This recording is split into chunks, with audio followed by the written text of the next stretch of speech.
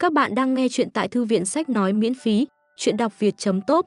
Đừng quên nhấn like và đăng ký theo dõi để có thể cập nhật các nội dung mới nhất nhé. Bên cạnh đó các bạn cũng có thể đóng góp ủng hộ theo mã QR trên video hoặc số tài khoản ở phần mô tả để giúp kênh có chi phí để thực hiện các bộ truyện tiếp theo. Xin trân trọng cảm ơn. Sau đây là bộ truyện ta mô phỏng trường sinh lộ của tác giả Phẫn nộ đích ô tặc. Tập 157 chương 1561 trong quan tài bỉ ngạn tiên. Mặc sát gần với đạo yên, chi năng này bởi vì bắt trước vốn là sức mạnh Sơn Hải tương dung. Nhưng hiện tại loại đạo hóa này, Lý Bất Nhân cầm lấy một tượng đạo hóa màu tím trước mặt, nắn nắn trong tay, cẩn thận quan sát. Chỉ là va chạm giữa Sơn và Hải, quá trình hòa hợp lại bị dừng lại quá sớm. Sơn Hải trung hí kịch, Lý Bất Nhân lập tức nhớ tới một câu miêu tả trong ngụ ngôn Sơn Hải. Và đạo sinh ra ở đây, thì ra là như thế này sao? Lý Bất Nhân chậm rãi nuốt toàn bộ tượng màu tím vào trong bụng, thể ngộ những quy tắc đạo lý ẩn chứa bên trong những sinh linh này. Ông dùng độc đan để nuôi dưỡng các sinh linh mạnh mẽ, sử dụng sinh mạng và linh trí của chúng để hoàn thành một lần chuyển hóa. Lý Bất Nhân xác định chắc chắn, những tượng đạo hóa màu tím này không còn thuộc phạm vi của đạo đan, vì thế có thể trực tiếp phục dụng. Mặc dù trong quá trình đạo hóa có vẻ đã mất đi thứ gì đó vô cùng quan trọng, nhưng nếu có thể tăng hiệu suất ngộ đạo mà không gặp rủi ro lớn thì cũng rất đáng giá. Không chỉ hỗ trợ ngộ đạo, độc đan này vốn đã là một loại thần thông sát thương khó lường. Bản chất của nó là dùng thủ đoạn của vương luyện đạo dược, kết hợp sức mạnh của mặc sát tiên phách, trực tiếp dung nhập với đối thủ. Tạo ra đòn tấn công chí mạng ở khía cạnh căn bản của đại đạo, quả thực là khó lòng phòng bị. Không chỉ giống như độc tố giết người trong vô hình, quan trọng hơn là không phân biệt sức mạnh của đối phương. Chỉ cần đối phương không thoát khỏi đạo yên, không thể tránh hoàn toàn sức mạnh của mặc sát tiên phách, đều có thể bị ảnh hưởng bởi thủ đoạn của độc đan. Mức độ chúng độc chỉ khác nhau ở mức độ nặng nhẹ mà thôi. Lý Bất Nhân sử dụng đám chân tiên bị phong ấn từ hồng hoang tiên giới để làm thí nghiệm. Mặc dù đã hứa sẽ thả bọn họ đi, nhưng không ngăn ông tận dụng bọn họ trước khi làm vậy. Ngọn lửa luyện đạo vô hình vô tướng, bao quanh trụ trời. Sức mạnh mặc sát tiên phách lặng lẽ thẩm thấu vào bên trong. Tùy theo thực lực cao thấp, biến hóa sinh ra cũng không hoàn toàn giống nhau. Người chịu khổ nhất là tư đồ tinh. Bản thân vốn không phải là chân tiên vô danh, dưới sức mạnh của mặc sát, gần như không có phản kháng. Trụ trời màu xám từ từ biến thành màu tím, bên trong xuất hiện một màn đen kỳ dị. Màu tím đen hoàn toàn nuốt chửng trụ trời trước đó, Lý Phàm kịp thời thu lại thần thông, bảo vệ được một mạng cho tư đồ tinh. Nhưng cuối cùng chỉ còn một tia thần trí mỏng manh. Lý Phàm cầm lấy trụ trời đạo hóa, không tốn sức lực gì đã tách nó ra khỏi trụ trời bình thường, rồi nuốt vào trong bụng. So với tự mình chậm rãi cảm ngộ, việc thôn phệ trực tiếp như vậy quả thực hiệu suất nhanh chóng. Một khắc luyện đan bằng trăm năm khổ công, quả thực là diệu pháp vô thượng. Lý Bất Nhân âm thầm tán thưởng trong lòng. Nhưng không phải tất cả chân tiên vô danh đều giống như tư đồ tinh, hoàn toàn không có chút sức chống cự nào. Đặc biệt là cơ tiên, dù trong trạng thái bị phong ấn, nàng vẫn có thể đấu sức với mặc sát tiên phách. Dù xét về lâu dài, chắc chắn sẽ thất bại, nhưng việc có thể không rơi vào thế hạ phong trong thời gian ngắn này đã nói lên sự bất phàm của nàng. Lý Bất Nhân lấy một phần nhỏ màu tím từ trụ trời của cơ tiên và nuốt vào. Một lát sau, ông hơi híp mắt lại, quả nhiên. Đạo của cơ có thể đến từ ngoài nguyên sơ, hoặc cũng có thể không hoàn toàn là đạo nguyên sơ, mà là một con đường lớn nào đó kết hợp với đạo ngoại lai tạo thành.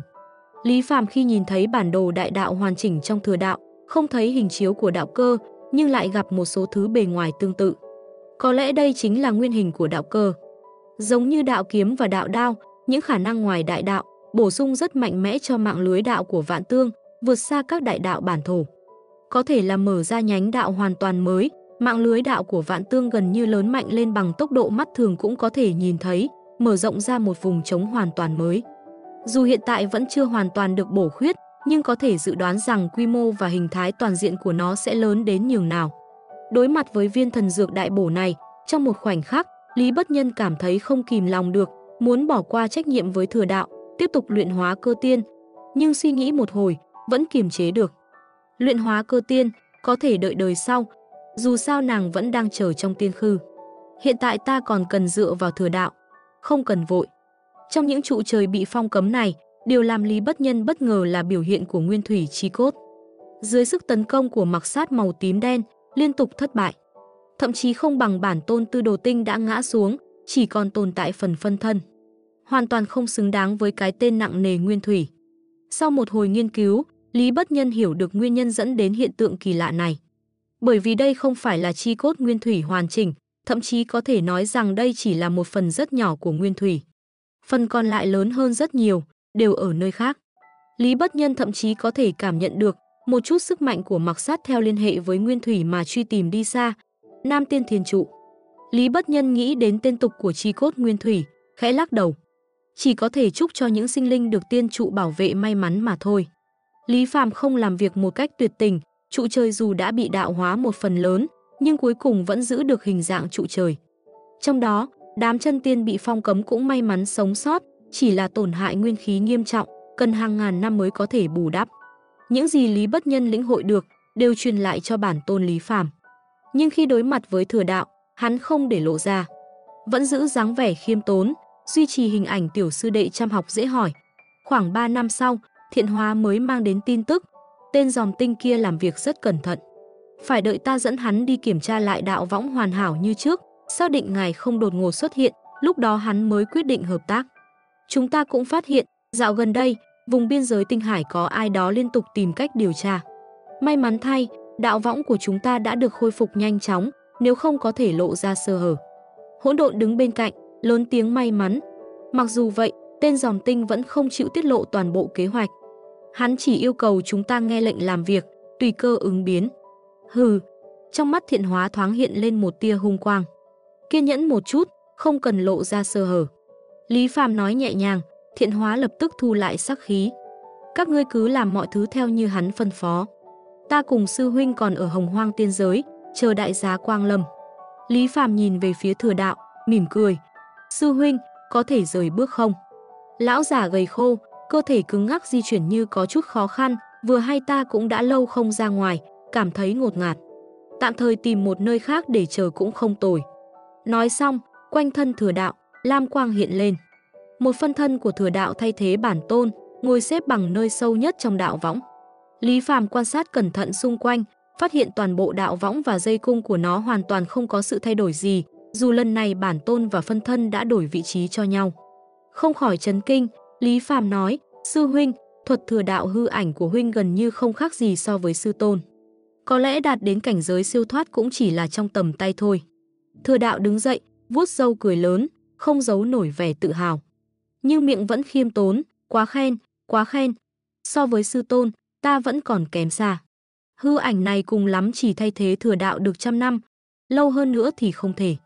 Lấy thiên tư của sư huynh, việc kế tục thừa đạo vĩnh viễn cũng sẽ không quá lâu. Lý Phàm cười nói, hỗn độn và thiện hóa không còn ngạc nhiên với sự tâng bốc gần như mù quáng của Lý Phàm đối với thừa đạo. Hai người im lặng, chỉ chú tâm vào chuyện của mình. Sư huynh, xin mời. Lý Phàm dẫn thừa đạo tiến vào hồng hoang tiên giới, chỉ chờ đợi người của Quang Ngô Tinh Hải mắc câu. Sau hơn 10 ngày tiến triển, cuối cùng thiện hóa cũng lại gặp dòm tinh. Hắn vẫn ẩn thân trên con mèo đen kia. Đạo hữu ngươi không khỏi quá cẩn thận. Chúng ta đã chết nhiều đồng bạn như vậy, nhưng cũng không cẩn thận như ngươi. Thiện hóa nói với giọng không vui. Dòm tinh cũng oán trách, thiện hóa đạo huynh không cần nói như vậy. Ta cũng không muốn. Lần trước mất đi trí bảo, ta gần như bị lột da rút xương, phong ấn vào trụ trời. Cũng may trong lúc sinh tử, nhớ lại được chi tiết lúc tên tặc kia thu phục trí bảo. Nhờ đó mà ta mới có cơ hội lập công chuộc tội, nhưng đây cũng là cơ hội cuối cùng. Nếu lần này thất bại, chỉ sợ huynh sẽ không thấy ta nữa. Thiện hóa dường như thông cảm, vuốt đầu con mèo, thực sự là khổ cho đạo huynh. Nếu không được, thì chạy trốn về tinh hải của chúng ta. Tối thiểu thì, ha ha. Giòm tinh cắt lời, có chút lúng túng. Được rồi, nói chính sự. Lần hành động này, thực ra không phải do ta chủ đạo. Ta chỉ phụ trách đưa tin và kết nối. À, thiện hóa vuốt ve mèo đen tay thoáng chốc dừng lại, muốn chúng ta hợp tác thế nào. Giòm tinh trầm mặc một hồi, như đang nghe lệnh từ phía bên kia. Một lát sau, âm thanh mới chậm chậm truyền đến, có một bộ quan tài. Bên trong phòng ấn một chân tiên vô danh đang ngủ say. Các ngươi chỉ cần tiếp nhận quan tài, sau đó nghĩ mọi cách đưa hắn vào trong hồng hoang tiên giới. Thiện hóa muốn biết thêm chi tiết, nhưng dòng tinh đã không nói gì thêm, rơi vào im lặng. Chỉ có vậy thôi sao? Thiện hóa tỏ ra không hài lòng. Phí bao nhiêu công sức chuẩn bị, cuối cùng các ngươi chỉ để làm vậy sao? Chỉ dựa vào một kẻ vô danh ngủ say, có thể làm được gì chứ? Ngươi cũng đã thấy sức mạnh của vị ẩn đế kia mà. Dòng tinh trấn an, đạo huynh cứ yên tâm. Ngay cả tính mạng của ta cũng liên quan, sao ta có thể qua loa được. Với kẻ vô danh này ra tay, cho dù ẩn đế kia có thần thông lớn đến đâu cũng không thể thoát được. Lần này là muốn hắn phải trả cả gốc lẫn lãi. Thiện hóa trầm ngâm một lúc, cuối cùng gật đầu đồng ý. Cắt đứt liên hệ với dòm tinh, thiện hóa đến nơi đã định để tìm kiếm chiếc quan tài chứa kẻ vô danh, rồi báo chi tiết tình hình lại cho Lý Phạm. Không sao, cứ như hắn nói, đưa chiếc quan tài đó đến là được. Nghe xong câu trả lời của Lý Phạm, thiện hóa mới nhẹ nhõm. Anh đi đến biên giới tinh hải để tìm kiếm mục tiêu, tại Hồng Hoàng tiên giới. Lý phàm và Thừa Đạo đối mặt ngồi xếp bằng, giữa trung tâm có một cây hương tỏa ra làn khói xanh. Khói bay mịt mờ, dần tan vào hư không. Sư huynh, kẻ vô danh ngủ trong quan tài kia, có manh mối gì không? Có lẽ, đó là bỉ ngạn tiên. Trầm mặc một lát, Thừa Đạo chậm rãi mở miệng, giọng có chút ngưng trọng. Chương 1562, ta hợp nhất trừ giới. Bỉ ngạn tiên, Lý Phàm con ngươi co rút lại, không khỏi nghiêng người tới gần. Chẳng lẽ là bỉ ngạn kia? Hắn thấp giọng hỏi. Là vậy, nhưng cũng không hoàn toàn phải. Thừa đạo dường như chìm vào hồi ức, thân sắc có chút hoảng hốt. Hồi lâu sau ông mới tỉnh lại, khẽ chạm vào làn khói xanh trước mặt Lý Phàm. Trong khói xanh lượn lờ, nhiều hình ảnh hiện lên. Đây là ký ức của thừa đạo khi trở thành một viên linh thạch ở biên giới Sơn Hải. Theo truyền thuyết, bỉ ngạn quả thật là nơi mà chúng sinh của tiên giới hướng tới. Dù sư tôn ta sau khi siêu thoát cũng đã đi đến nơi đó. Tuy nhiên, hai chữ bỉ ngạn không chỉ tuyệt đối chỉ về một địa giới thần thánh duy nhất. Phàm những gì là vùng đất không rõ ràng, vượt ngoài hiểu biết, đều có thể được gọi là bỉ ngạn. Thời thượng cổ tiên giới, thỉnh thoảng lại có tiên quan đi cùng với kiếp đạo yên, vượt qua sơn hải, trôi nổi đến nơi này. Những kẻ vô danh trong quan tài này, đa phần là vì quê nhà bị đạo yên phá hủy mà tự mình không tìm được cách thoát ra. Để tìm kiếm một chút hy vọng sống sót, họ tự phong mình trong quan tài, trôi giạt trong sơn hải, hy vọng tìm thấy nơi nương náu khác. Lý Phàm nghe vậy, không khỏi nghĩ đến cơ tiên đời trước, người rõ ràng đến từ khí tức đại đạo nguyên sơ bên ngoài. Xem ra, có lẽ kẻ này chính là một thành viên trong số những tiên giới vô danh kia. Không thể bằng thực lực của mình vượt qua khả năng, chỉ có thể mượn tiên quan để phiêu lưu. Dù không bằng siêu thoát chi cảnh, nhưng tiên quan vẫn có thể kiên trì trong dòng chảy đạo yên mà đến nơi khác. Thực lực như thế này, dù là vô danh nhưng cũng thuộc hàng đỉnh cao. Trong lòng Lý Phàm suy nghĩ nhanh chóng. Nhưng nghi hoặc cũng theo đó mà xuất hiện. Vậy, tiên quan được nói đến là gì? Có thể bảo vệ những kẻ vô danh khỏi sự xâm nhập của đạo yên. Nếu thu thập đủ nhiều tiên quan, chẳng phải có thể xây dựng một chiếc thuyền vượt qua dòng chảy đạo yên mà không bao giờ chìm sao? Lý Phàm hỏi. Thưa đạo mỉm cười, làm gì có cái gì là vĩnh viễn, chỉ là một biện pháp không hoàn toàn thôi. Những tiên quan kia thực chất là những đại đạo còn sót lại sau khi một khả năng nào đó đã biến mất.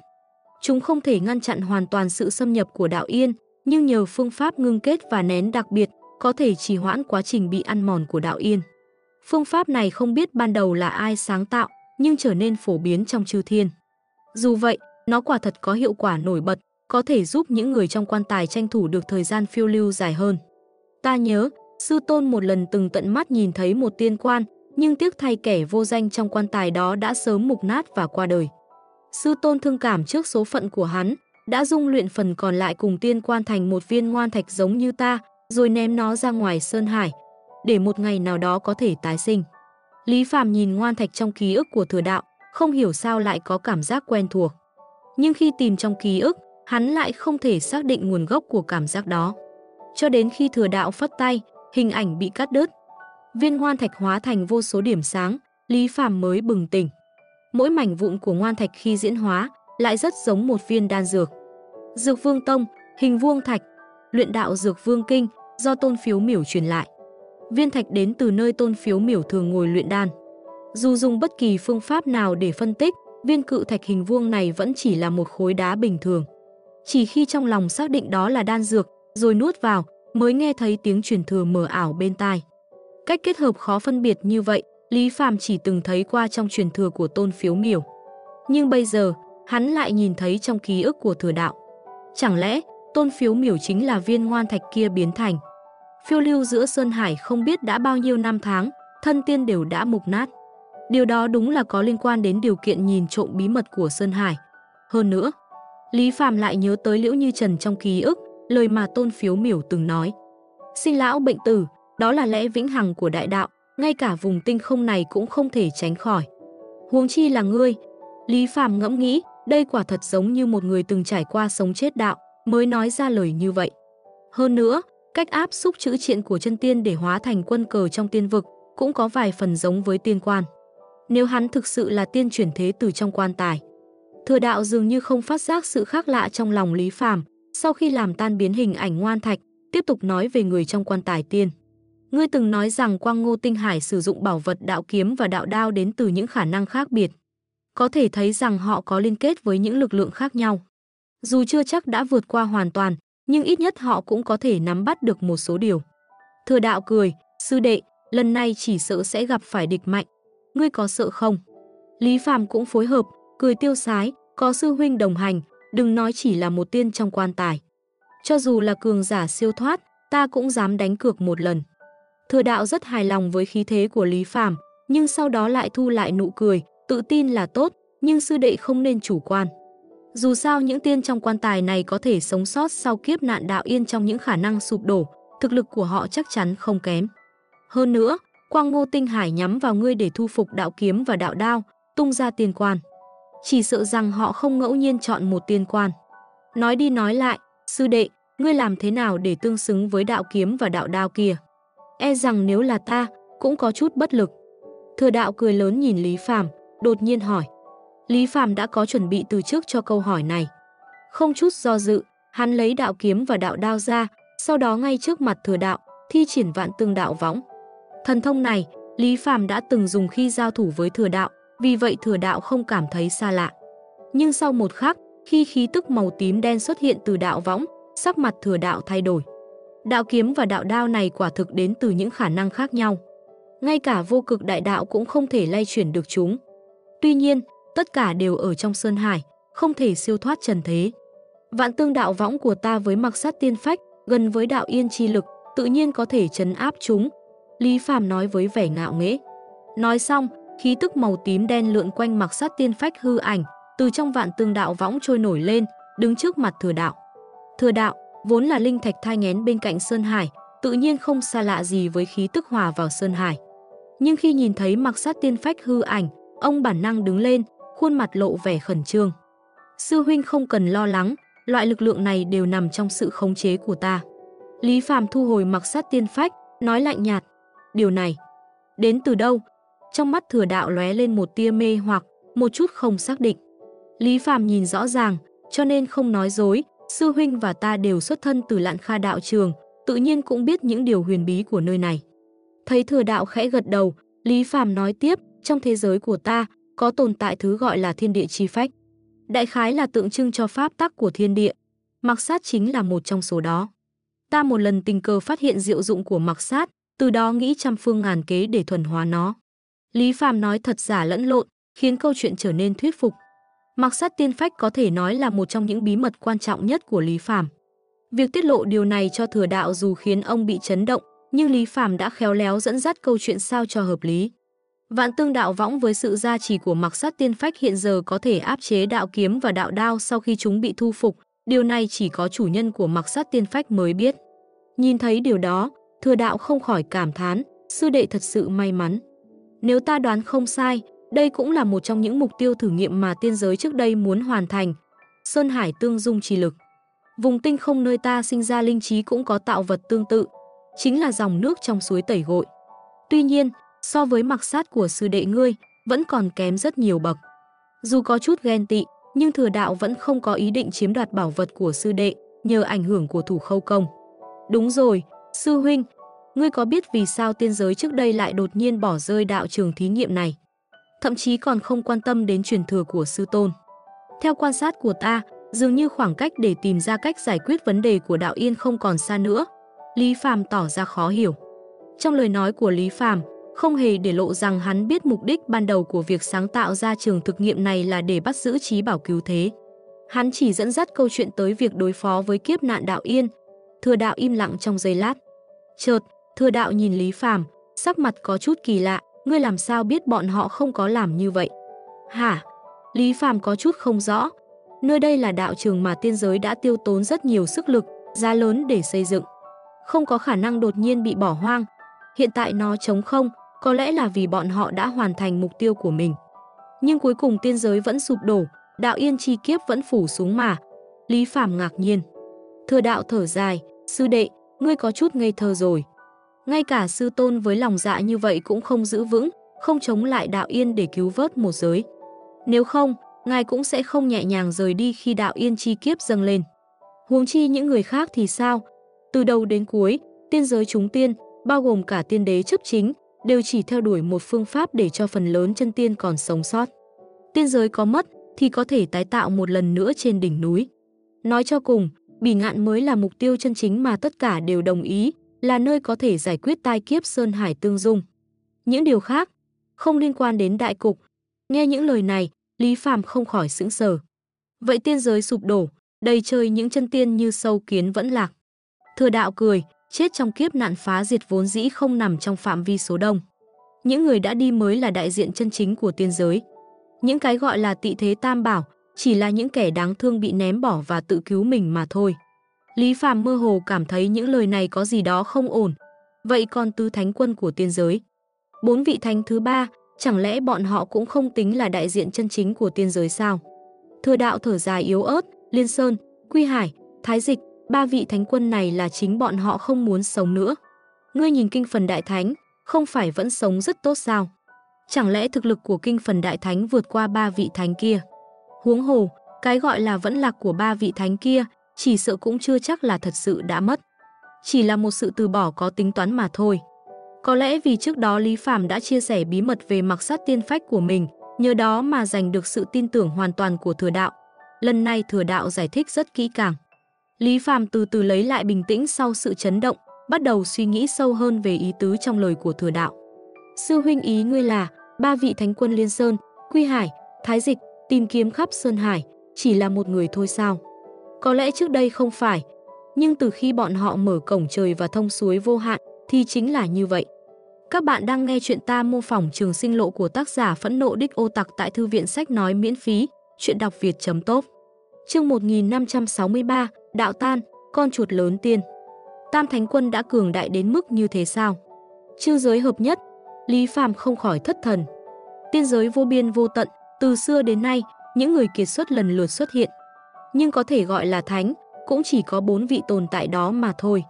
Ngay cả sư tôn có thủ đoạn thông thiên như vậy, cũng chỉ được thế nhân tôn xưng là công, chứ không thể nhận một chữ thánh. Sư đệ ngươi làm sao có thể coi thường các chư thánh được? Thừa đạo lắc đầu, không phải là coi thường. Lý Phàm cười khổ, thật sự là ta đối với tiên giới hiểu biết còn rất mơ hồ, không thể có cái nhìn chính xác. Nếu không phải có sư huynh chỉ dạy, chư giới hợp nhất hay sơn hải hợp nhất, đó chính là cảnh giới siêu thoát trong truyền thuyết. Liên Sơn và Quy Hải, hai vị thánh quân đã chứng đạo, một người dựa vào việc mở đỉnh núi, một người dựa vào việc thông suối vô hạn. Vậy Thái Dịch Thánh Quân làm sao có thể đi đến bước này? Chẳng lẽ trên đời còn có thứ gì có thể sánh ngang với Sơn Hải? Lý Phàm trực tiếp chuyển chủ đề. Thừa đạo cười, sư huynh của ngươi ta, tuy kiến thức uyên bác, nhưng bí mật về việc Thánh Quân chứng đạo, ta cũng không thể biết được. Những chuyện như vậy, nếu Thánh Quân không công khai, ai có thể rõ ràng. Nhưng dù sao thì Thái Dịch Thánh Quân có thực lực ngang với Liên Sơn và Quy Hải, điều này là thật. Vì Liên Sơn Thánh Quân đã từng thừa nhận điều này trước mặt Hoang Tiên Đế và một nhóm chân tiên vô danh, còn như Kinh Phần Đại Thánh. Nói một câu không quá cung kính, chỉ sợ trong mắt Tam Thánh, Kinh Phần chỉ là một hậu bối có chút thực lực. Tam Thánh là Tam Thánh của Sơn Hải, còn Kinh Phần chỉ là Thánh Quân của thế giới này. Dù vậy, đây cũng chỉ là nhận định dựa trên thời điểm tiên giới sụp đổ. Qua nhiều năm như vậy, Kinh Phần Đại Thánh có thể đã tiến tới thực lực tương đương với Tam Thánh kia, có lẽ đã đi trên con đường siêu thoát. Sau đó, Lý Phạm hỏi thêm thừa đạo một vài bí mật về tiên giới, rồi một lần nữa chuyển chủ đề quay lại chuyện Quang Ngô Tinh Hải và vị tiên bỉ ngạn trong quan tài. Thiện hóa đã tìm được cỗ tiên quan đó, dựa trên chỉ dẫn của dòng tinh. Đúng như dự đoán của sư huynh, tiên quan quả nhiên là vật chất áp xúc và ngưng kết từ đại đạo. Theo tốc độ hiện tại, khoảng 5 canh giờ nữa, tiên nhân trong quan tài sẽ đến tiên giới hồng hoang. Lý Phàm truyền lại hình ảnh từ thiện hóa cho thừa đạo xem. Có nên đổi địa điểm để nghênh chiến không? Ngươi và ta, sư huynh để cùng đối đầu với tiên bỉ ngạn. Đại lục này có thể sẽ bị tai họa. Thừa đạo phủi tay hỏi, hủy rồi xây lại cũng được. Nếu không vượt qua được kiếp số này, thì việc bị hủy cũng chẳng đáng tiếc gì. Huống hồ, sinh linh ở đây dù thực lực còn yếu, nhưng miễn cưỡng cũng có thể giúp đỡ. Lý Phạm bình thản nói. Thừa đạo khen ngợi, sư đệ tâm tính như vậy, thật có phong thái của chư thánh tiên giới. Lý Phạm cười nhẹ, không đáp lời. Dù sao, trước khi đối mặt với đại địch, vẫn cần làm một chút chuẩn bị. Thừa đạo do dự một chút, rồi nói, nếu sư đệ không chê, ta có một thần thông có thể truyền dạy cho người. Dù không biết vị tiên trong quan tài thuộc về đạo gì, nhưng với thần thông này, dù không thể đánh bại hắn, nhưng để tự vệ thì đủ không lo. Lý Phàm mừng rỡ, sư huynh, nói gì vậy, ta cầu còn không được. Thừa đạo không dài dòng, trực tiếp chạm vào chán Lý Phàm. Thân thể và thần hồn của Lý Phàm dường như lại rơi vào biển vô tận, bị dội rửa bởi vô số cảnh tượng biến đổi nhanh chóng. Lý Phàm nhìn rất rõ, phần lớn là cảnh tượng một bóng dáng cô độc đứng trên núi Vọng Hải. Đó chính là Thủ Khâu Công. Lý Phàm từng thấy cảnh này trong cuốn Thủ Khâu Tùy Bút. Nhưng lần này thừa đạo truyền lại khác biệt, đó là góc nhìn từ bên ngoài, không phải cảm nhận của Thủ Khâu Công. Thủ Khâu Công không chỉ đứng trên núi Vọng Hải, mà còn bảo vệ một viên linh thạch dưới chân, tránh bị tác động từ sự va chạm của Sơn Hải. Sơn Hải bất động thân. Vận dụng thần thông như Thủ Khâu Công, đối mặt với sự biến đổi to lớn của Sơn Hải, vẫn đứng bất động. Không chỉ có khả năng phòng thủ, mà còn có thể bắt chước sức mạnh của Sơn Hải để phản công. Đương nhiên, điều này không có nghĩa là có thể thực sự bắt chước Sơn Hải, mà là kéo đối phương vào cảm giác bị dội rửa bởi Sơn Hải, như thể đang ở thủ khâu vọng hải. Nếu đối phương có năng lực như thủ khâu công hoặc đã nhận được truyền thừa từ thủ khâu công thì có thể không bị ảnh hưởng. Nhưng nếu là người bình thường, nhất là những ai đã từng trải qua sự tuyệt vọng vô biên của Sơn Hải, khó khăn lắm mới trốn thoát, mà bây giờ lại đối mặt với Sơn Hải, chỉ sợ ngay tại chỗ liền muốn sụp đổ.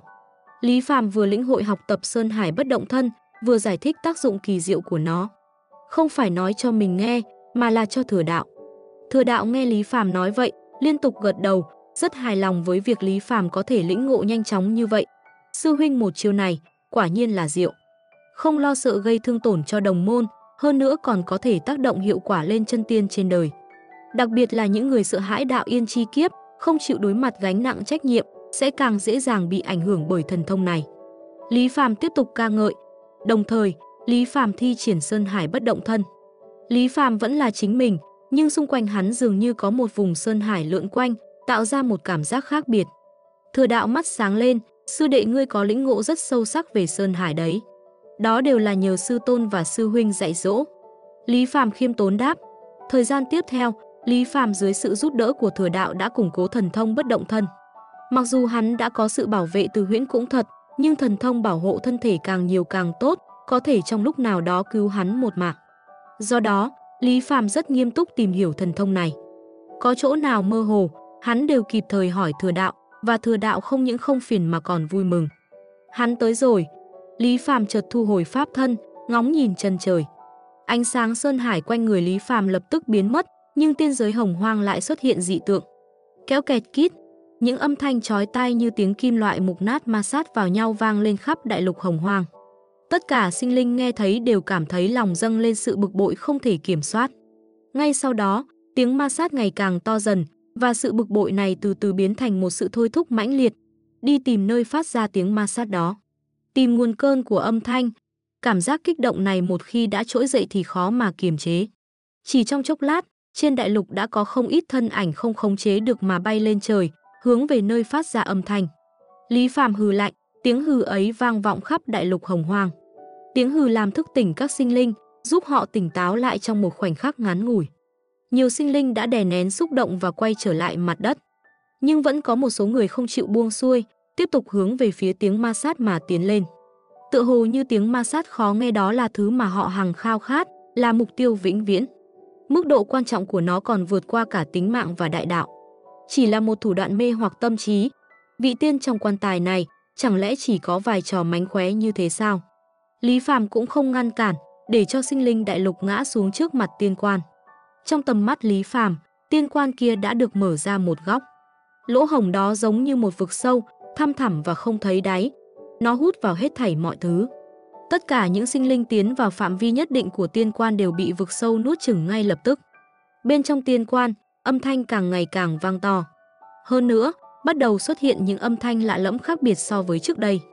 Nếu như ban đầu, tiên quan phòng đắp chăn từ từ mở ra. Thì bây giờ, có một thứ tồn tại không biết không hiểu, đang dùng móng vuốt cào không ngừng lên bên trong tấm vách của tiên quan. Dường như đang cố gắng dãy dụa để bò ra khỏi quan tài. Phá vỡ quan tài mà ra, mục tiêu của tiên quan rất rõ ràng, đó chính là hồng hoang tiên giới nơi Lý Phạm đang đứng. Tiên quan không ngừng gia tốc tiến gần, âm thanh biến đổi, nhưng hiệu quả mê hoặc của nó vẫn không hề suy giảm. Đến khi tiến vào vùng biển ám tinh, sinh linh trong biển giống như những con bướm lao vào lửa, dũng mãnh lao về phía tiên quan. Mỗi lần thôn phệ một sinh linh, tốc độ của nó lại càng nhanh hơn.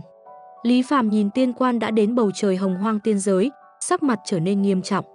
Để ta, sư huynh, trước tiên đối phó với nó.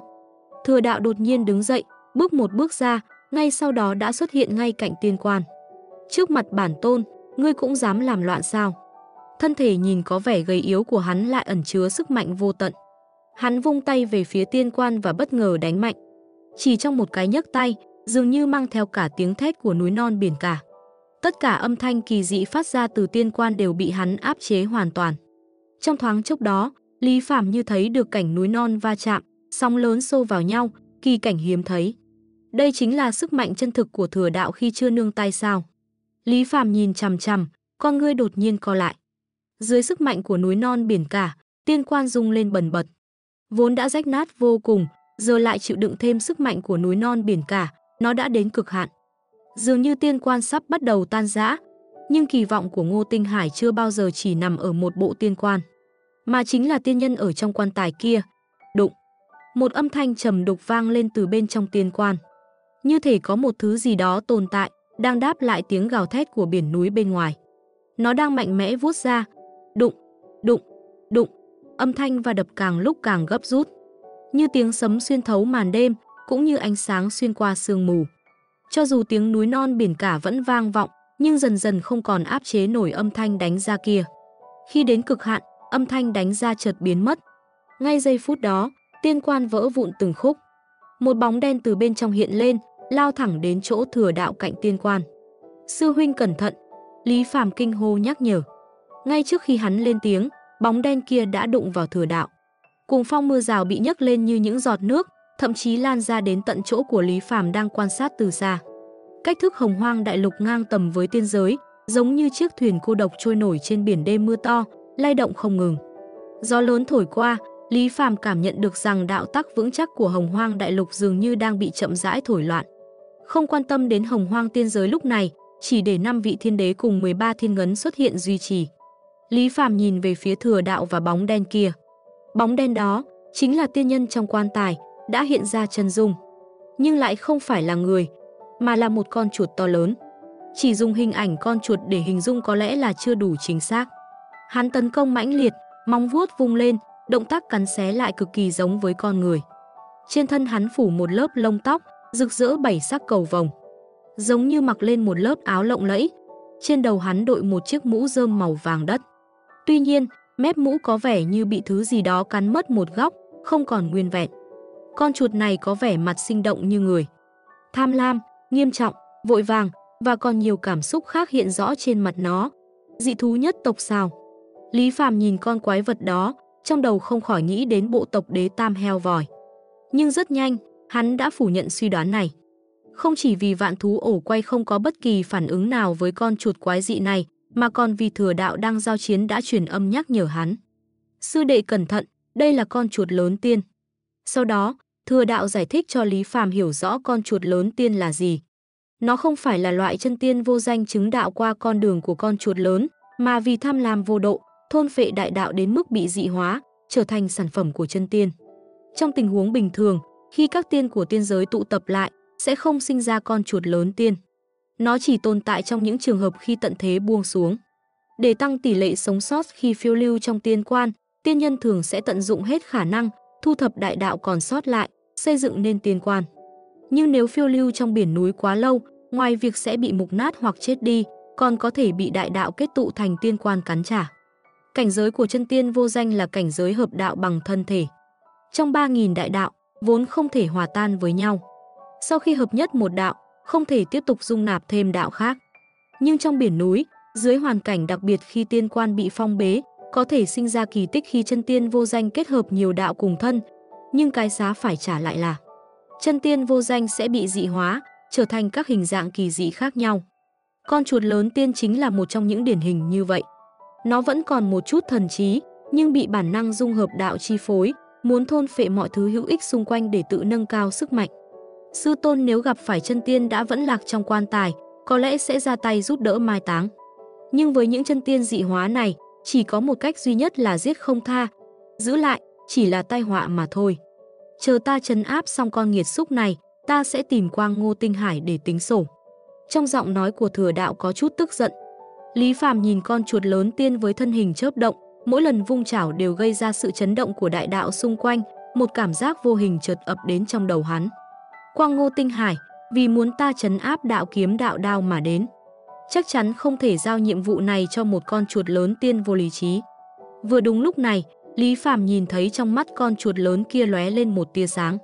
Hắn vội truyền âm nhắc nhở, sư huynh cẩn thận. Đây không phải là con chuột lớn tiên bình thường như chúng ta nghĩ. Có lẽ có kẻ đã đoạt giá, chủ động dung nhập vào nó. Nghe vậy, động tác của thừa đạo chợt khựng lại. Ngay lúc này, trên chân trước của con chuột lớn tiên lại xuất hiện một luồng sáng đen mỏng. Tia sáng đột nhiên bùng nổ, bao trùm lấy thừa đạo. Con chuột lớn tiên thì lập tức lùi lại nhanh chóng, tránh ra xa và giống như một con người, chân trước vuốt vuốt râu, mặt lộ vẻ tự mãn. Hắc quang này, Lý Phàm lại cảm nhận được khí tức cực kỳ giống với Mặc Sát. Xem ra, không chỉ có đạo trường Lạn Kha đang nghiên cứu sức mạnh dung hợp của Sơn Hải. Lý Phàm lẩm bẩm, có vẻ suy nghĩ điều gì đó. Mặc dù hắc quang này rất đáng sợ, nhưng Lý Phàm cũng không lo lắng cho thừa đạo. Có thể ở bên cạnh thủ khâu công, sống sót bên bờ biển núi suốt hàng trăm triệu năm, thì sao có thể dễ dàng rơi vào tình thế nguy hiểm như vậy được. Chương 1564, trăm triệu năm chi tiền đế. Lý Phàm dự đoán không sai, hắc quang trong lĩnh vực cực giống với mặc sát, vốn nên là một sự tĩnh mịch tuyệt đối. Nhưng khi con chuột lớn tiên đang dương dương tự đắc, âm thanh sóng biển phách sơn, tiếng tấn công của núi non và biển cả như tiếng kim loại va chạm, chật phá tan hắc vực, âm thanh vang vọng khắp hồng hoang tiên giới. Dẫn đến mảnh tiên giới đại lục này từ các nơi truyền đến những đáp lại khác biệt. Gió thổi qua rừng núi phát ra tiếng xào xạc, nước suối róc rách chảy, gió mây giao hội phát ra âm thanh lạnh thấu xương, tiếng khóc to rõ của sự sống mới, tiếng chấn liệt vang dội của dãy núi. Những âm thanh này đại diện cho sự sống, vận động và biến đổi, cùng cộng hưởng với âm thanh của sơn hải trên bầu trời. Như những đợt sóng mạnh mẽ, mạnh mẽ xé mở hắc vực kia. Điêu trùng tiểu kỹ cũng dám múa rìu qua mắt thợ. Thừa đạo hét lớn, từ trong hắc quang sông ra. Ngay khi thoát khốn, thân ảnh hắn liền hòa vào thế giới này, biến mất không thấy nữa. Con chuột lớn tiên nhận ra điều bất ổn, phát ra một tiếng cười quái dị, nhưng không hề bối rối. Hắn dung thân thể to mập của mình, từ lớp vỏ lộng lẫy bên ngoài, trong khoảnh khắc, hàng ngàn sợi lông màu sắc khác nhau rớt xuống. Những sợi lông này khi rơi xuống, hóa thành từng bóng người sừng sững. Chỉ trong chốc lát, hơn ngàn chân tiên mọc lên như rừng, bảo vệ con chuột lớn ở trung tâm. Những bóng này là chân tiên vô danh sao. Lý Phàm nhìn kỹ, thấy mỗi sợi lông tóc từ thân con chuột lớn tiên rơi xuống đều đại diện cho một đạo đại đạo. Những đạo hóa thành thân ảnh này, bản chất chúng giống như chân tiên vô danh hóa thân từ thân thể. Sự tham lam thôn phệ đại đạo đã dẫn đến việc dị hóa chân tiên vô danh, và bây giờ, con chuột lớn lại nôn ra các đại đạo mà mình đã nuốt vào. Mất đi một vài đại đạo, con chuột lớn không những không yếu đi mà khí tức trên người hắn càng trở nên khó đoán, khiến người ta kinh hãi. Lý Phàm cũng nhận ra, hình dạng của con chuột lớn bắt đầu có những biến đổi nhỏ. Móng vuốt biến thành bàn tay, thân hình còng còng cũng thẳng lên, vẻ mặt càng thêm giống người. Trong sơn hải, gió lớn nổi lên, tiếng vang dội mãnh liệt. Những bóng dáng đại đạo bảo vệ bên cạnh con chuột lớn, từng cái từng cái đều bị gió thổi tan. Nhìn thấy cảnh này, Lý Phàm dường như thấy vô số khả năng, vô số thế giới, vô số sinh linh trầm luân và biến mất giữa sơn hải. Mặc dù thừa đạo đã cố gắng kiểm soát thần thông trong phạm vi nhất định, nhưng một vài luồng gió vẫn thoát khỏi sự khống chế do cuộc chiến quá kịch liệt. Giống như những lưỡi dao vô hình, gió đi qua hồng hoang tiên giới. Nơi cơn gió thổi qua, vạn vật đều im lìm. Một khe rãnh lớn xuất hiện trong hư không. Mặc dù có vô hạn tiên lực bổ sung không ngừng, nhưng trong thời gian ngắn vẫn khó mà chữa trị được vết sẹo này. Điều này cho thấy sức phá hoại trong cuộc chiến này đã đạt đến mức độ nào. Giữa tiếng gió rít gào, từng bóng người giống như những cành liễu nhẹ nhàng nhảy múa. Mặc dù bị thổi tan nhưng vẫn kiên cường duy trì giữa cơn gió sơn hải. Ngay lúc này, từ miệng con chuột lớn tiên phát ra âm thanh quái dị vô cùng. Giống như tiếng kêu thấu tâm gan của chuột, lại giống như thi nhân dõng dạc ngâm sướng. Từ thân con chuột lớn tiên, rơi xuống càng nhiều lông tóc. Những chân tiên như ma quỷ, phiêu tán bay ra. Con chuột lớn tiên đã cởi hết lông tóc, càng giống người, nhưng vẫn khoác lên thân da chuột. Âm thanh ngâm sướng đột ngột im bặt, như một lưỡi đao chợt rơi xuống, cắt đứt lớp da. Con chuột lớn, hóa thành người, không giống như những bóng chân tiên xung quanh chỉ là hình dạng mơ hồ, không có hình hài cụ thể. Vào giây phút này, con chuột lớn tiên, dù trần như nhộng, lại không khác gì con người. Hai vị đạo huynh. Con chuột lớn giá xương hữu lễ. Một giọng nói bất nam bất nữ, pha trộn giữa nam và nữ vang lên từ miệng con chuột lớn sau khi đã hóa thành người. Chỉ là tự mình chào hỏi, hắn cũng không trông mong Lý Phàm và Thừa Đạo đáp lại. Lời còn chưa dứt, hắn đã giơ 10 ngón tay, thao túng những bóng dáng chân tiên đã rơi xuống xung quanh. Giống như một khôi lỗi sư điều khiển những con rối từ phía sau màn. Có con chuột lớn tiên gia trì, khuôn mặt của ức vạn chân tiên hư ảnh lại hơi hiện ra hình người. Hơn nữa, bọn chúng không chỉ tấn công theo bản năng, mà như thể là những chân tiên vô danh tái thế. Mỗi người đều thi triển thần thông phép thuật của mình đến cực hạn. Không chỉ có những khả năng nguyên thủy như ngũ hành, độc, tịch đạo tắc, mà còn có những đại đạo mà Lý Phàm hoàn toàn xa lạ. Trước khi con chuột lớn hóa hình, các chân tiên đạo ảnh giống như rắn mất đầu, mỗi người chiến đấu độc lập. Nhưng khi có hình người con chuột lớn điều khiển, bọn chúng mới phát huy được sức mạnh chân chính. Áp lực mà thừa đạo gặp phải đột ngột tăng lên gấp trăm lần không ngừng. Lý Phàm tự như thấy được một thân ảnh cao cao tại thượng đang điều binh khiển tướng. Trong lúc cười nói, cường địch đã bị tiêu diệt thành cho bụi.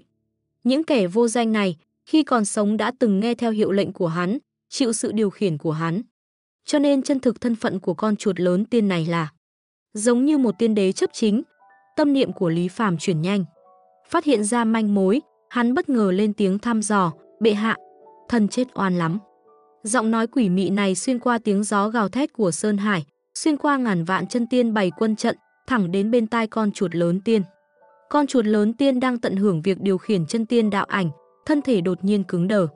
Mặc dù rất nhanh sau đó hắn đã khôi phục bình thường, nhưng thay đổi nhỏ này cũng không thoát khỏi ánh mắt của Lý Phàm. "Sư huynh, đừng hoảng sợ, ta tới giúp ngươi." Trong lòng đoán ra điều cần xác minh, Lý Phàm cười lạnh, vô cực thiên côn mở đường phía trước, bản thân hắn theo sát phía sau, tiến thẳng đến con chuột lớn tiên. Nhận thấy động tác của Lý Phàm, ngàn vạn chân tiên đạo ảnh liền tiến tới ngăn cản. Đại bộ phận bị vô cực thiên côn ngăn lại. Mặc dù có một số không nằm trong phạm vi bao trùm của vô cực đại đạo nguyên thủy, cũng khó lòng xuyên qua được vạn tương đạo võng cùng lớp phòng hộ kép của Sơn Hải không động thân của Lý Phàm. Lý Phàm kiên quyết đón đỡ công kích từ chân tiên đạo ảnh, tiếp tục tiến thẳng đến con chuột lớn tiên. Hắn muốn lấy thủ cấp tiên đế ngay trong vạn quân. Thừa đạo cũng đã hiểu ý đồ của Lý Phàm, liền phối hợp hành động. Không chỉ khiến Sơn Hải gió thổi mạnh hơn, mà còn rít gào dữ dội hơn. Trên quân trận do chân tiên đạo ảnh tạo thành, dần dần hiện ra bóng dáng to lớn của một kẻ quan sát từ xa. Chỉ cần Sơn Hải ngưng tụ lại thôi cũng đủ để chôn vùi vô số chân tiên hư ảnh. Con chuột lớn tiên đã phun ra toàn bộ đại đạo đã thôn phệ, mặc dù chiến lực tăng lên nhiều, nhưng không nghi ngờ gì nữa, lúc này bản thể của hắn là yếu ớt nhất. Lý Phàm hành động cực kỳ nhanh chóng, chỉ trong nháy mắt, hắn đã phi độn đến bên cạnh con chuột lớn, chỉ còn cách ba trượng. Cuộc tấn công này quá nhanh, con chuột lớn còn chưa kịp thu hồi đại đạo đã thôn phệ. Trên thân hắn chỉ vừa mới khôi phục được một lớp lông mỏng, thì đòn công kích của Lý Phàm đã đến. Vô cực thiên côn tấn công trước, sau đó là đao kiếm nối tiếp nhau. Muốn tránh cũng không kịp, con chuột lớn tiên mắt lóe lên ánh hung ác, đối mặt với ba trí bảo, một côn, một đao, một kiếm đồng loạt tấn công, thế nhưng hắn cũng không chút nào sợ hãi. Hắn há mồm lộ ra hàm răng nanh sắc bén, hung dữ nhắm vào vô cực thiên côn cùng đạo kiếm, đạo đao trực tiếp táp tới. Dường như muốn nuốt chửng ba thứ hung khí muốn lấy mạng hắn. Không hổ là con chuột lớn tham lam vô độ.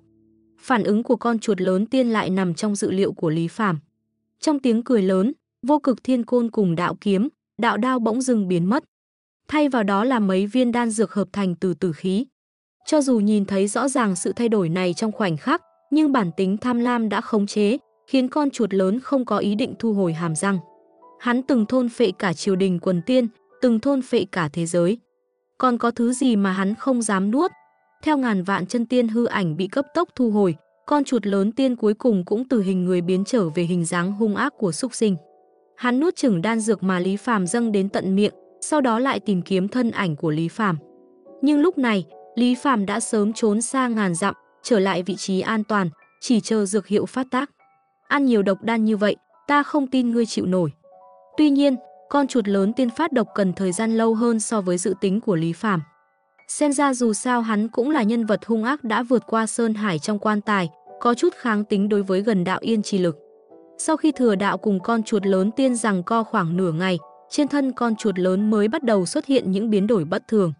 Những sợi lông rực rỡ bảy sắc của hắn bắt đầu dần chuyển thành màu tím. Hơn nữa không kiểm soát được, những sợi lông trên thân bắt đầu rơi rụng. Đây chính là dấu hiệu hóa đạo do độc đan mà Lý Phàm luyện chế gây ra. Ban đầu con chuột lớn tiên vẫn chưa phát giác, cho đến khi những sợi lông màu tím rơi rụng khắp trời. Lúc này hắn mới hoảng hốt nhận ra, phát ra một tiếng kêu sắc bén vang vọng.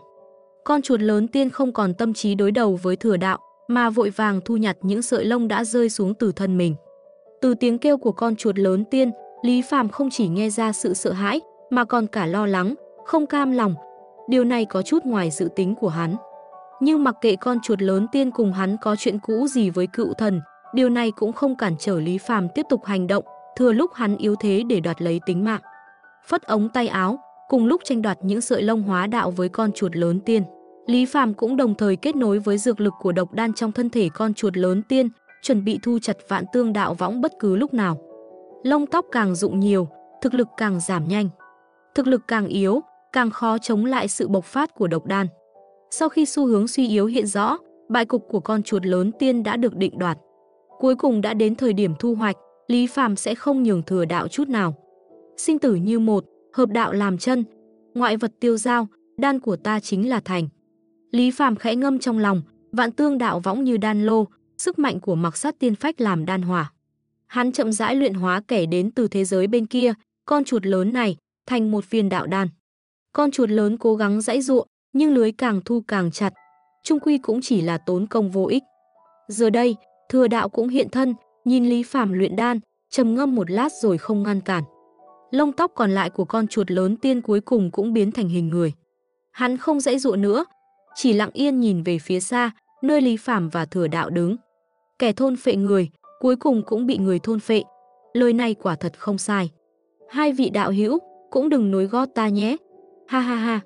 Trong tiếng cười điên cuồng, con chuột lớn tiên bị triệt để luyện hóa. Trở thành một viên đan dược trong lòng bàn tay của Lý Phàm, trong suốt và óng ánh, hiện ra màu tím bảy sắc vô cùng mượt mà. Không nghi ngờ gì nữa, đây là viên đạo đan xinh đẹp nhất và cũng quý giá nhất mà Lý Phàm từng luyện chế từ khi sở hữu kinh nghiệm của luyện đạo dược vương. Chỉ tiếc, không thể trực tiếp nuốt được. Lý Phàm nhìn về phía thừa đạo bên cạnh, với vẻ mặt nghiêm túc, lòng hơi động. Sư huynh, tặng huynh này. Hắn nói với sự trịnh trọng, muốn giao đạo đan cho thừa đạo. Ai? Việc này không cần đâu. Thừa đạo rõ ràng có chút bất ngờ trước hành động này của Lý Phàm, nhưng hắn vẫn lập tức lắc đầu từ chối cũng không phải vì hắn thấy rõ sự mê hoặc của đạo đan. Dù sao chính Lý Phàm cũng không thể xác định liệu kinh nghiệm luyện đạo dược vương của Tôn Phiếu Miểu để lại có vấn đề gì không. Lý Phàm chỉ là thiên tính cẩn thận mà thôi.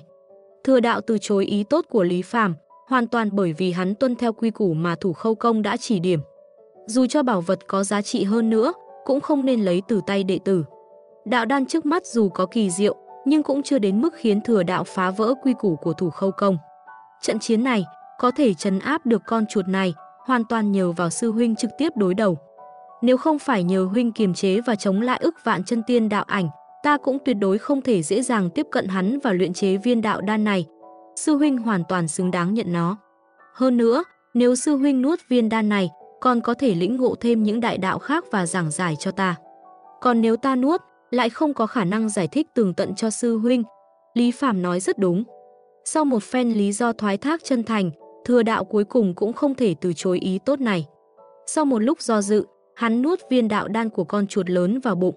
Sư huynh, cảm giác thế nào rồi? Một lúc lâu sau, Lý Phạm dò hỏi. Ai? Con chuột lớn này, cùng với ngàn vạn chân tiên hư ảnh kia, thực ra cũng chỉ là những kẻ đáng thương mà thôi. Thừa đạo lắc đầu, thở dài. Lý Phạm, sư huynh chỉ giáo cho ta đã từ việc nuốt đạo đan mà cảm ứng được vô số hình ảnh. Thừa đạo nói, nhẹ nhàng vung tay, đem những hình ảnh hiện ra trước mặt Lý Phàm. Ban đầu, đó là một tiên giới yên bình, phồn vinh và rộng lớn. Con chuột lớn tiên từng đảm nhiệm chức tiên đế gần 200 triệu năm, trong thời gian hắn thống trị, chư tiên của tiên giới đều thần phục, tạo nên một cảnh tượng vui vẻ, phồn thịnh. Thậm chí từ khi con chuột lớn tiên chấp chính, Tam Thánh cũng không còn hỏi đến chuyện tiên giới. Quần tiên chỉ biết đến tiên đế, mà không biết đến Tam Thánh. Sự thịnh vượng đạt đến cực điểm rồi chuyển sang suy yếu, bắt đầu từ khi đạo yên chi kiếp chợt buông xuống. Ban đầu, con chuột lớn tiên mang trong mình chí hướng cao xa. Hắn tin tưởng vững chắc rằng bản thân có thể lãnh đạo chư tiên, chế ngự tai kiếp đạo yên nhỏ bé này.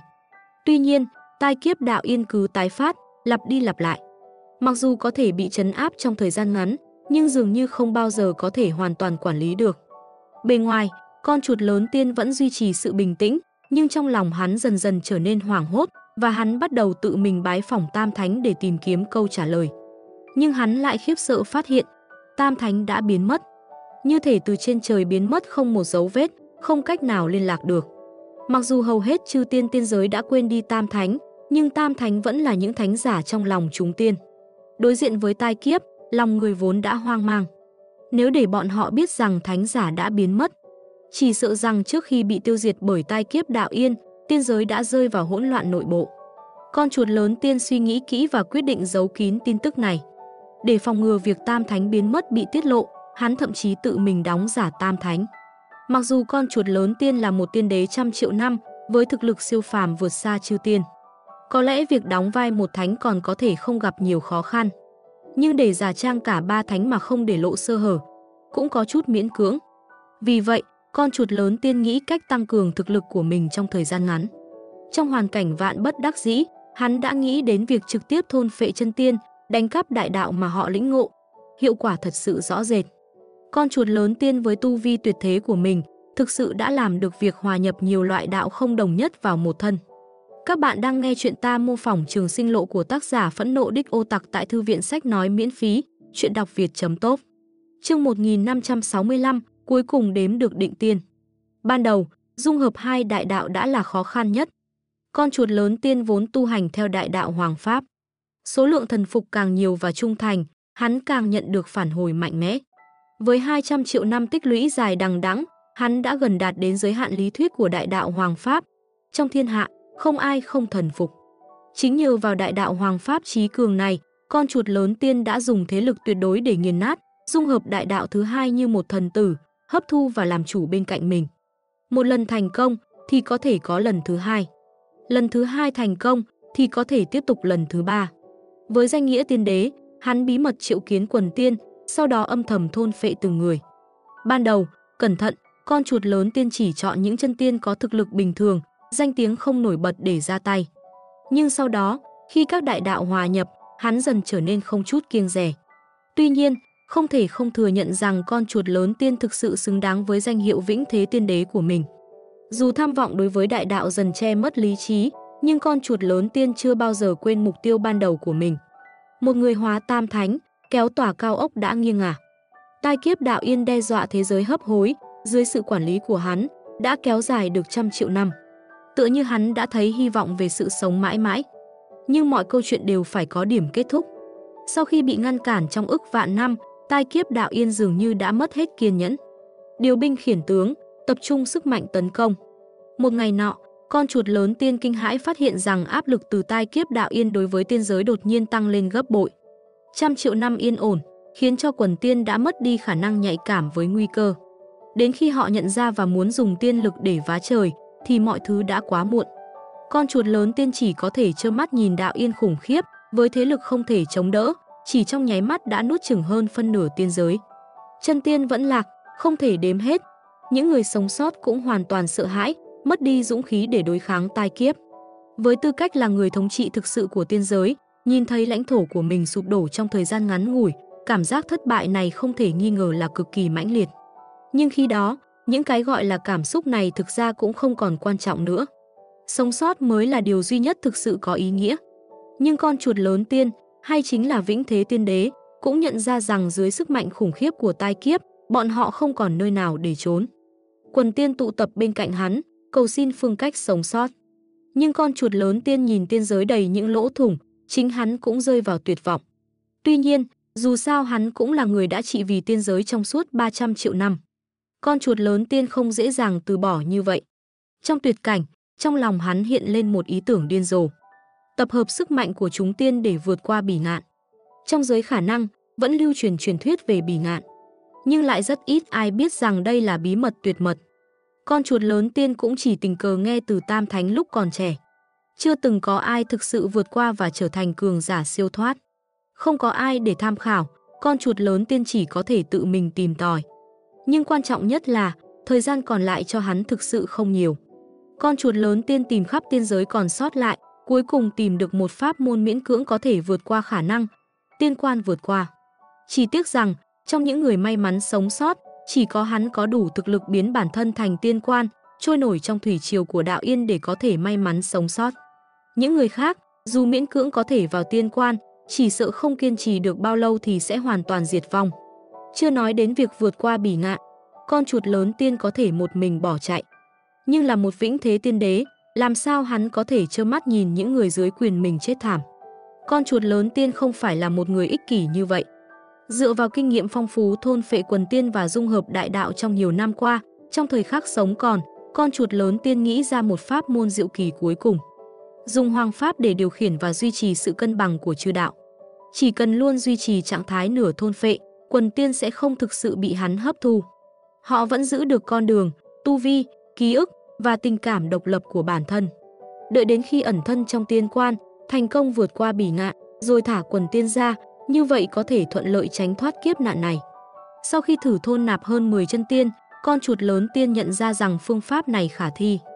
Duy nhất điều bất lợi là hắn, kẻ chủ đạo thôn phệ, phải cố gắng hết sức để duy trì các đạo được phân định rõ ràng. Cách làm đầy mâu thuẫn này khiến cho hắn chịu đựng sự dày vò đến cực hạn. Hơn nữa, theo số lượng con đường được thôn nạp ngày càng nhiều, thời gian cần để duy trì sự cân bằng của các đạo cũng không ngừng tăng lên, với tỷ lệ gia tăng ngày càng cao.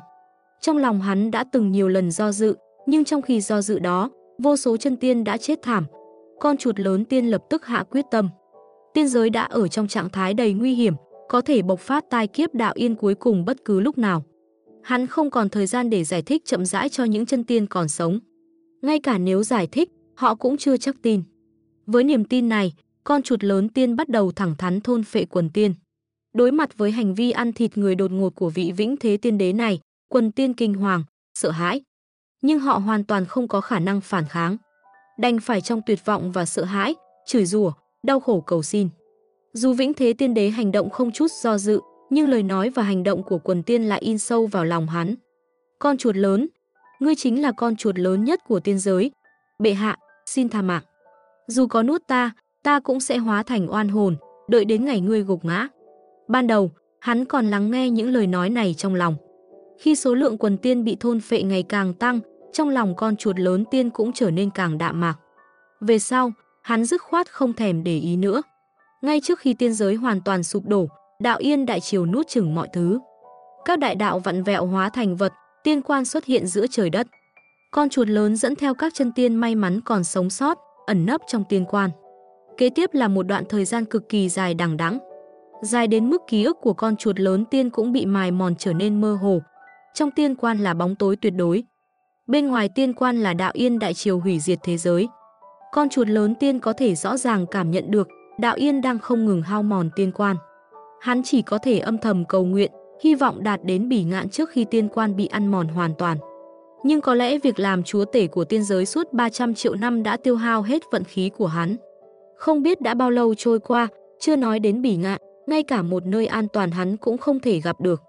Tiên quan trôi nổi như bèo nước, lênh đênh trong thủy triều đạo yên, dường như mãi mãi không nhìn thấy hy vọng.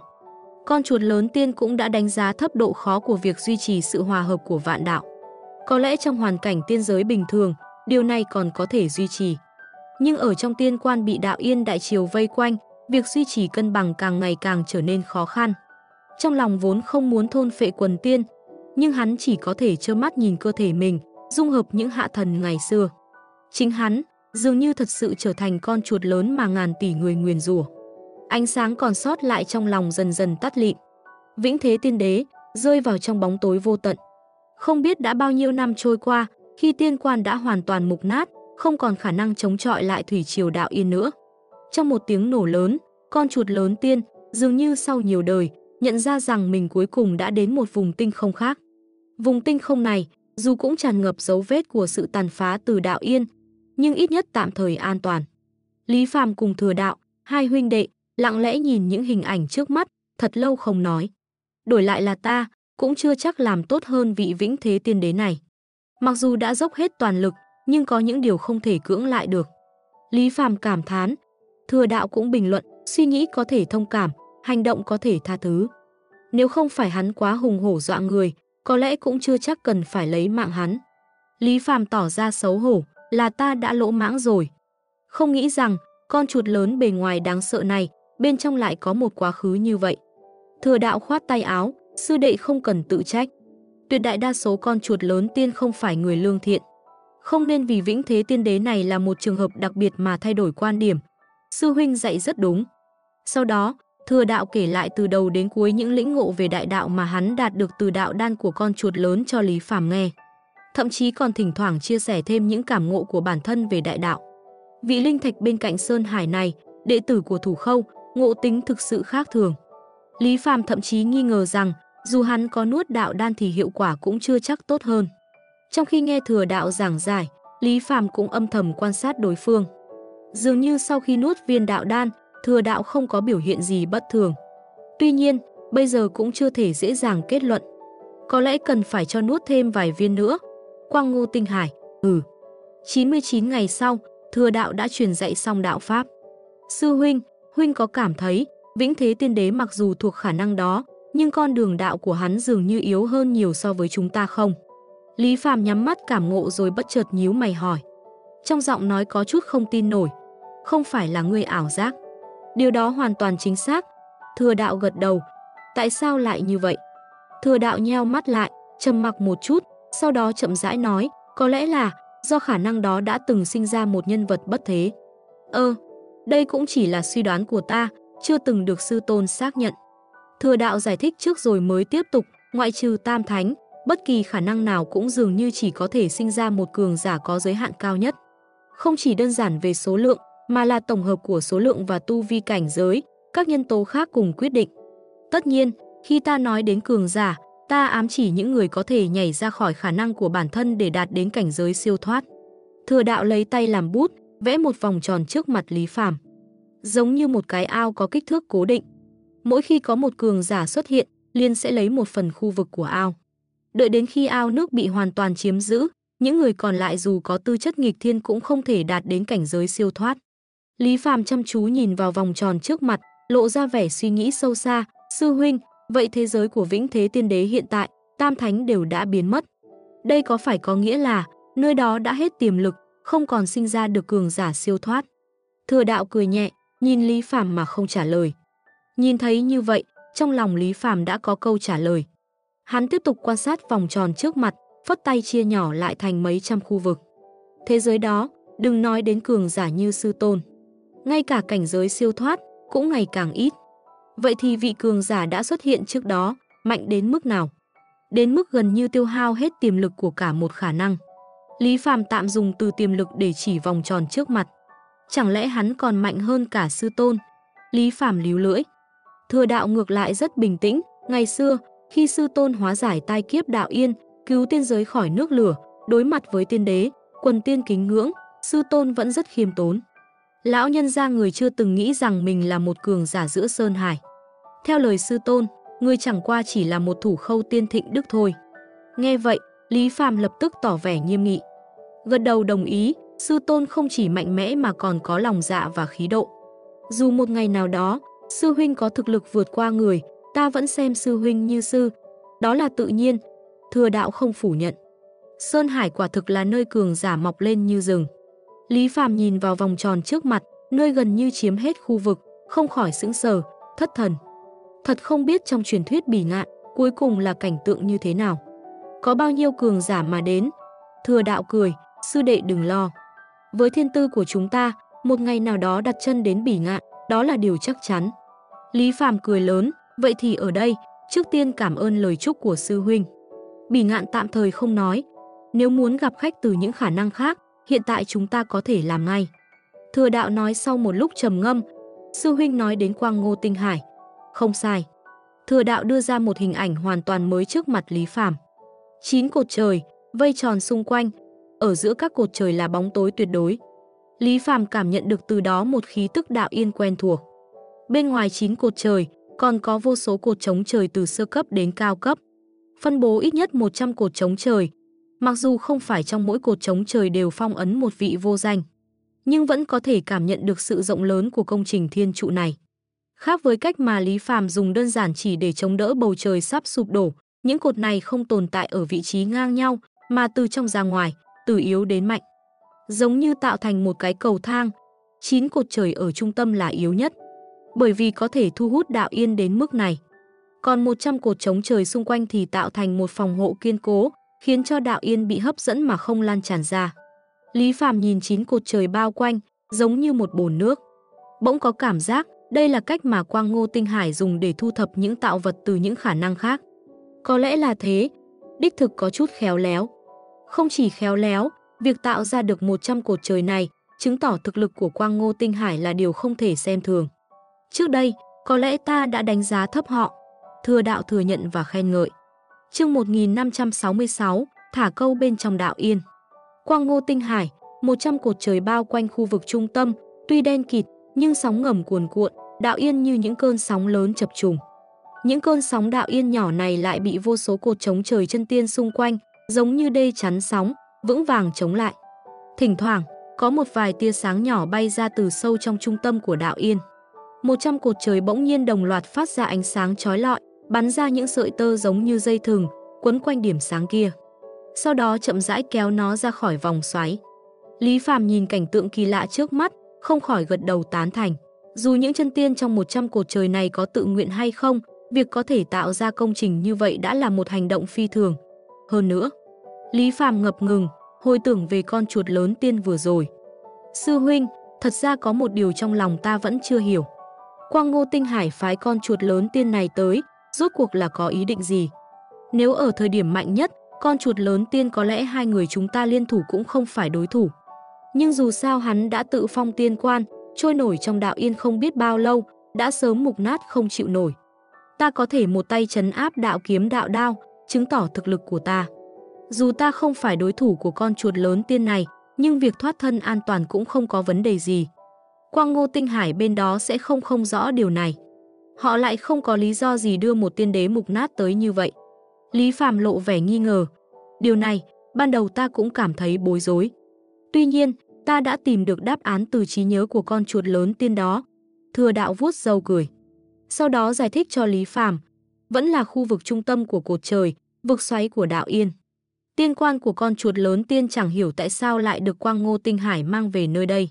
Một trăm cột trời vẫn như lưới sáng, kéo tiên quan lên, rồi chậm rãi đặt vào vòng xoáy đạo Yên. Kế tiếp, tiên quan không bị mặc nhiên để cho đạo Yên nuốt chừng, mà vẫn bị các cột trời quấn chặt lại. Tiên quan tồn tại, khiến cho vòng xoáy đạo yên tại đây trở nên cuồng bạo hơn. Không biết bao lâu sau đó, từ bóng tối đen như mực phía dưới vực xoáy đạo yên, dường như có thứ gì đó bị tiên quan hấp dẫn. Nó đang chuẩn bị bùng lên. Phía quang ngô tinh hải giống như gặp đại địch. Dường như thứ sắp xuất hiện từ vòng xoáy đạo yên mang ý nghĩa trọng đại với họ. Một trăm cột trời phát ra ánh sáng rực rỡ hơn, thậm chí còn có không ít chân tiên đích thân tới. Từng bóng hình đều chăm chú nhìn vào khu vực trung tâm của các cột trời. Oanh, giống như một đợt sóng lớn đánh mạnh vào đê chắn. Cả 100 cột trời, thậm chí toàn bộ tinh hải được bảo hộ bởi cột trời, đều lâm vào chấn động dữ dội. Những chân tiên của Quang Ngô Tinh Hải không hề sợ hãi mà còn mừng rỡ. Quả nhiên có thể dẫn dụ. Chư vị, không cần hoảng sợ, cứ theo kế hoạch hành động. Sóng lớn không ngừng dội vào đê chắn, 100 cột trời như thể sắp sụp đổ. Những chân tiên của Quang Ngô Tinh Hải không quan tâm. Những bóng hình lao nhanh từ bên ngoài cột trời vào, ngày càng nhiều hơn. Nhưng mục tiêu của họ không phải là cứu vãn cột trời đang nghiêng ngả, mà là vì thứ đang ở dưới vòng xoáy đạo yên. Những chân tiên này cũng phát ra những tia sáng như sợi tơ. Họ cưỡng ép giữ vững tiên quan được xem như mồi nhử. Dường như không thể chịu đựng thêm, thứ bên dưới vòng xoáy đạo yên cuối cùng cũng nhảy ra, trận lên.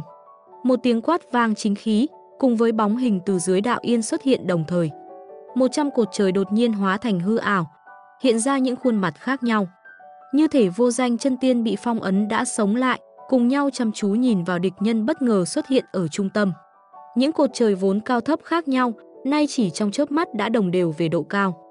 Vòng xoay u ám ở trung tâm cũng bị cắt đứt liên hệ với thế giới bên ngoài. Bóng hình kia mạo hiểm lao vào, đường lui đã bị chặn. Không thể nào trong thời gian ngắn quay lại vòng xoáy đạo yên được. Thời gian dài ở trong tinh hải, sức mạnh không rõ quay quanh hắn cũng dần dần phai nhạt. Lúc này, diện mạo thật của hắn mới có thể bị người ngoài nhìn thấy rõ.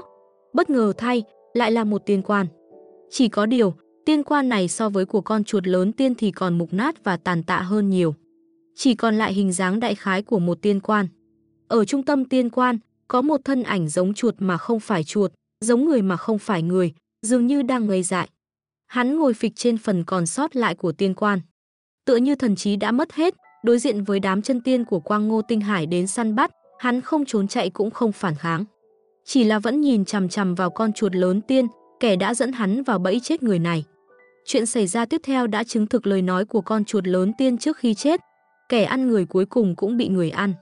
Nhìn vào con chuột lớn mục nát, đáng sợ, hoàn toàn không còn hình người, những khuôn mặt trên trụ trời ở trung tâm lại dường như thấy được món mỹ vị tuyệt vời, tất cả đều lộ vẻ tham lam không che giấu. Chẳng ai quan tâm đến bộ dạng mục nát của con chuột lớn, họ đều chia nhau ăn. Từng tiếng thỏa mãn vang lên, mặt người trên các cột trời biến mất, trở lại hình dạng cột trời bình thường. Khi cột trời trung tâm chậm rãi thấp đi, vòng xoáy đạo yên lại xuất hiện. Nhóm chân tiên của Quang Ngô Tinh Hải không hành động ngay lập tức, mà trước tiên kéo tiên quan đi xa, đưa nó đến khu vực cột trời có độ an toàn phù hợp. Lần tiếp theo diễn ra hành động dẫn dụ và săn bắt đã là 3 năm sau. Lần này bị hấp dẫn lên, vẫn là dị hóa chân tiên bên trong tiên quan. Chỉ có điều không phải là hình dạng chuột, mà là một sinh vật có đầy miệng người và mắt rắn. Miệng thì đang cãi vã lẫn nhau, nhưng vô số ánh mắt lại đầy bình tĩnh, đau thương và tuyệt vọng, dường như là cảm xúc sau cùng của họ khi còn sống. Dù sao đi nữa, vật dị hóa này khi bị hấp dẫn lên vẫn có kết cục bị chia nhau ăn. Lý Phàm nhìn thừa đạo, có chút không hiểu, sư huynh, chân tiên vô danh thân với đạo hợp nhất. Theo tình huống bình thường, chẳng phải chỉ có thể tu hành một con đường sao. Tại sao chân tiên của Quang Ngô Tinh Hải lại có thể hấp thụ con đường còn sót lại trong thân thể của con chuột lớn tiên? Chẳng lẽ họ đều là những thiên tài có thể tu luyện đồng thời nhiều đạo? Không phải như vậy. Thừa đạo cười. Bình thường thì đại đạo không thể tu cùng lúc. Nhưng con đường trong thân thể của con chuột lớn tiên lại khác biệt. Trong quá trình thôn phệ chúng, con chuột lớn tiên đã thử dung hợp các đại đạo một lần. Sau đó, hắn còn trôi nổi trong đại triều đạo yên. Không muốn bị đạo yên tiêu diệt, nên hắn chỉ có thể tận lực tụ hợp. Ngay cả bản thân các đại đạo cũng có bản năng muốn kéo dài sự tồn tại. Vì vậy, nếu tiên quan phiêu bạt giữa Sơn Hải đủ lâu, thì nhờ vào áp lực khó tưởng tượng đó, những đại đạo còn sót lại sẽ tự động phát sinh một mức độ dung hợp nhất định. Điều này khiến chân tiên có thể thôn phệ. Giống như một tảng đá cứng rắn, bình thường không thể nuốt xuống. Nhưng nếu nghiền nát thành bụi phấn, thì miễn cưỡng có thể nuốt được. Chỉ có điều kết quả thì, thừa đạo khẽ lắc đầu. Đầu cơ trục lợi, cuối cùng không phải chính đạo. Nhưng điều này có liên quan gì đến việc Quang Ngô Tinh Hải phái con chuột lớn tiên đến dò xét ta? Theo lý thuyết, có một mùi nhử như thế, không phải tốt hơn nếu giữ lại sao? Chẳng lẽ? Lý Phàm chợt nhận ra điều gì, bỗng ngẩng đầu nhìn lên bầu trời. Từ lúc nào, vùng trí ám tinh hải bên ngoài hồng hoang tiên giới đã dần trở nên u ám, đạo yên trì kiếp. Lý Phàm cảm ứng nhỏ bé, lúc này mới thông qua hư ảnh thủ khâu công nhận ra rằng áp lực đạo yên đối với trí ám tinh hải đang không ngừng gia tăng. Điều này hiển nhiên là cực kỳ bất thường, là vì chúng ta đã giết con chuột lớn tiên. Lý Phàm nhìn thừa đạo, có lẽ mục đích của Quang Ngô Tinh Hải không phải là ngươi, sư đệ. Dù sao cũng có quá nhiều khả năng chấn áp được đạo kiếm, đạo đao. Họ chỉ cần một người có thể giết chết con chuột lớn tiên. Ta nghĩ rằng việc gây rối và dẫn dắt họa hoạn mới là điều họ thực sự mong muốn. Đối diện với đạo yên chi kiếp sắp tới, thừa đạo vẫn mỉm cười. Nếu chỉ có hư ảnh của sư tôn từ trong tường cao, chỉ sợ thật sự chưa chắc có thể chống đỡ nổi. Nhưng có sự biến đổi của sư đệ ngươi lần này thì lại vừa đủ. Quả nhiên là kỳ diệu không thể tả. May mắn là trước đó ta không mạo muội thả họ ra. Bọn hắn trong miệng thừa đạo chính là các sinh vật bị phong ấn trong cột trời. Sư đệ, Bây giờ đối mặt với cơn thủy triều này, chỉ e rằng cần ngươi và ta hợp lực mới được. Có mong muốn như vậy, không dám cầu xin hơn. Hư ảnh của thủ khâu công cần thừa đạo gánh vác nặng nề hơn, sức mạnh mà Lý Phàm có thể nhận lại càng ít. Khi mây đen phủ kín bầu trời kéo đến, để phòng ngừa trí ám tinh hải đột nhiên sụp đổ, hắn cũng không thể không tập trung toàn bộ sức mạnh của các cột trời vào một điểm. Dù vậy, điều này vẫn không thể ngăn cản nổi cơn đại triều đạo yên không rõ từ đâu tới. Dường như chính xác nhắm vào vị trí mà con chuột lớn tiên đã rơi xuống tại hồng hoang tiên giới, những đợt thủy triều cứ tiếp nối nhau ập tới. Không ngừng đập thẳng vào, tình thế biến đổi chỉ trong nháy mắt. Nếu không chống đỡ được, sự hủy diệt của hạ giới cũng chỉ diễn ra trong chốc lát. Lý Phàm chỉ sợ cũng phải vội vã, bất đắc dĩ mà bảo toàn tính mạng. Cũng may nhìn thấy thừa đạo vẫn không hề hốt hoảng, Lý Phàm ổn định tâm thần. Sư huynh, đợi ta một lát. Lời chưa dứt, thừa đạo đã từ một lão giả khô gầy, biến trở lại thành thân ảnh màu xanh lam. Rõ ràng là đã hoàn thành việc trao đổi giữa bản tôn và hư ảnh của thừa đạo. Lý Phàm nhìn xa về phía tường cao, chỉ thấy đạo võng sóc tinh hải bùng phát ra ánh sáng màu lam chói mắt. Cuốn toàn bộ tinh hải, tập trung lại cùng một chỗ. Hướng về phía tường cao bay tới. Hợp tác cùng có lợi, chia rẽ thì đều chết. Giọng của thừa đạo vang xa đến bên tai Lý Phàm. Lý Phàm liền mừng rỡ nói lớn, nguyện cùng sư huynh, chung sức chống đỡ đạo yên, nhưng trong lòng lại do dự một chút. Dù sao Lý Phàm cũng không để lộ ra điều đó, bắt đầu phối hợp với thừa đạo, kết hợp đạo võng và tường cao đơn giản lại với nhau. Đạo võng và tường cao, thực tế cũng là hóa thân của những chân tiên vô danh, dùng để chống đỡ đại đạo. Tường cao trèo chống đạo yên được xây dựng trên năm đạo hư ảnh thủ khâu công. Người sáng tạo ra đạo võng thực sự là thủ khâu công tự mình điểm hóa Sơn Hải Linh Thạch. Vì vậy, việc dung hợp đạo võng và tường cao diễn ra rất thuận lợi.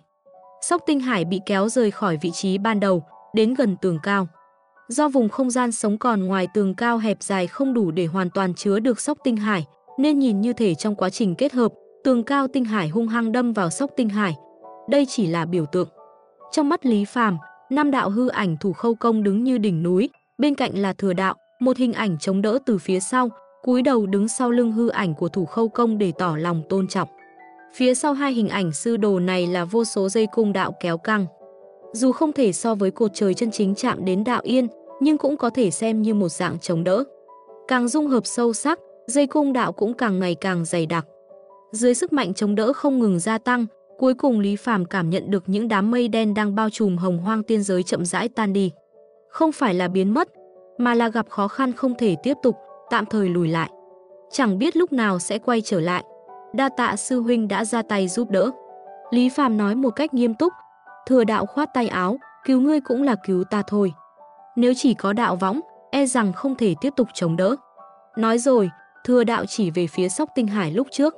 Vùng không gian tràn đầy nguy hiểm đó, sau khi đạo võng được rời đi, đạo yên chi kiếp lập tức ập đến, nuốt chửng mọi thứ. Nơi từng là tinh không tràn đầy sinh khí, giờ đã chìm vào đen tối tuyệt diệt. Hình thành nên một khu vực bị chôn vùi hoàn toàn, giống như đã bị chìm xuống, kết hợp tường cao và đạo võng lại, hoàn toàn tách biệt khỏi thế giới bên ngoài.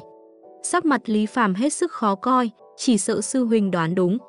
Quang Ngô Tinh Hải liên tiếp sử dụng tiên quan làm mồi câu các vật trong đạo yên, có lẽ đã gây chú ý. Tại vị trí của tiên quan, đạo yên chi kiếp sẽ bùng nổ mãnh liệt hơn. Giữ lại bên mình chắc chắn là một mối họa ngầm. Ta lại vừa khéo thể hiện ra đủ thực lực, nên họ đã trực tiếp dùng kế, ném cái khoai lang nóng này đến ta. Thừa đạo suy nghĩ một lát, rồi bổ sung, ta cho rằng không chỉ đơn thuần là số lần. Có lẽ họ đã vớt được một vật thể đặc biệt nào đó. Chính điều này đã dẫn tới thủy triều đạo yên vây công. Dù cho bên trong đạo yên đại triều thật sự có tồn tại thứ gì, nó cũng không biết rằng những điều này do các chân tiên của Quang Ngô Tinh Hải chỉ đạo. Nó chỉ ghi nhớ kẻ mồi nhử, con chuột lớn tiên thôi. Quang Ngô Tinh Hải chắc chắn đã làm trò gì đó với thân thể con chuột lớn tiên. Vào khoảnh khắc nó chết, những ba động phát ra đã thu hút sự chú ý của Thủy Triều Đạo Yên. Chỉ có thể hận rằng con đường tinh không bị cắt đứt, nếu không, ta đã tới tận nơi giết chúng. Lý Phàm giọng đầy căm hận, thưa đạo nheo mắt lại, sư đệ đừng vội. Có thể dẫn tới sự chú ý của Thủy Triều Đạo Yên, đồng thời gây ra những biến động kiếp nạn thực tế. Điều này không thể coi thường, đợi ta bẩm báo với sư tôn.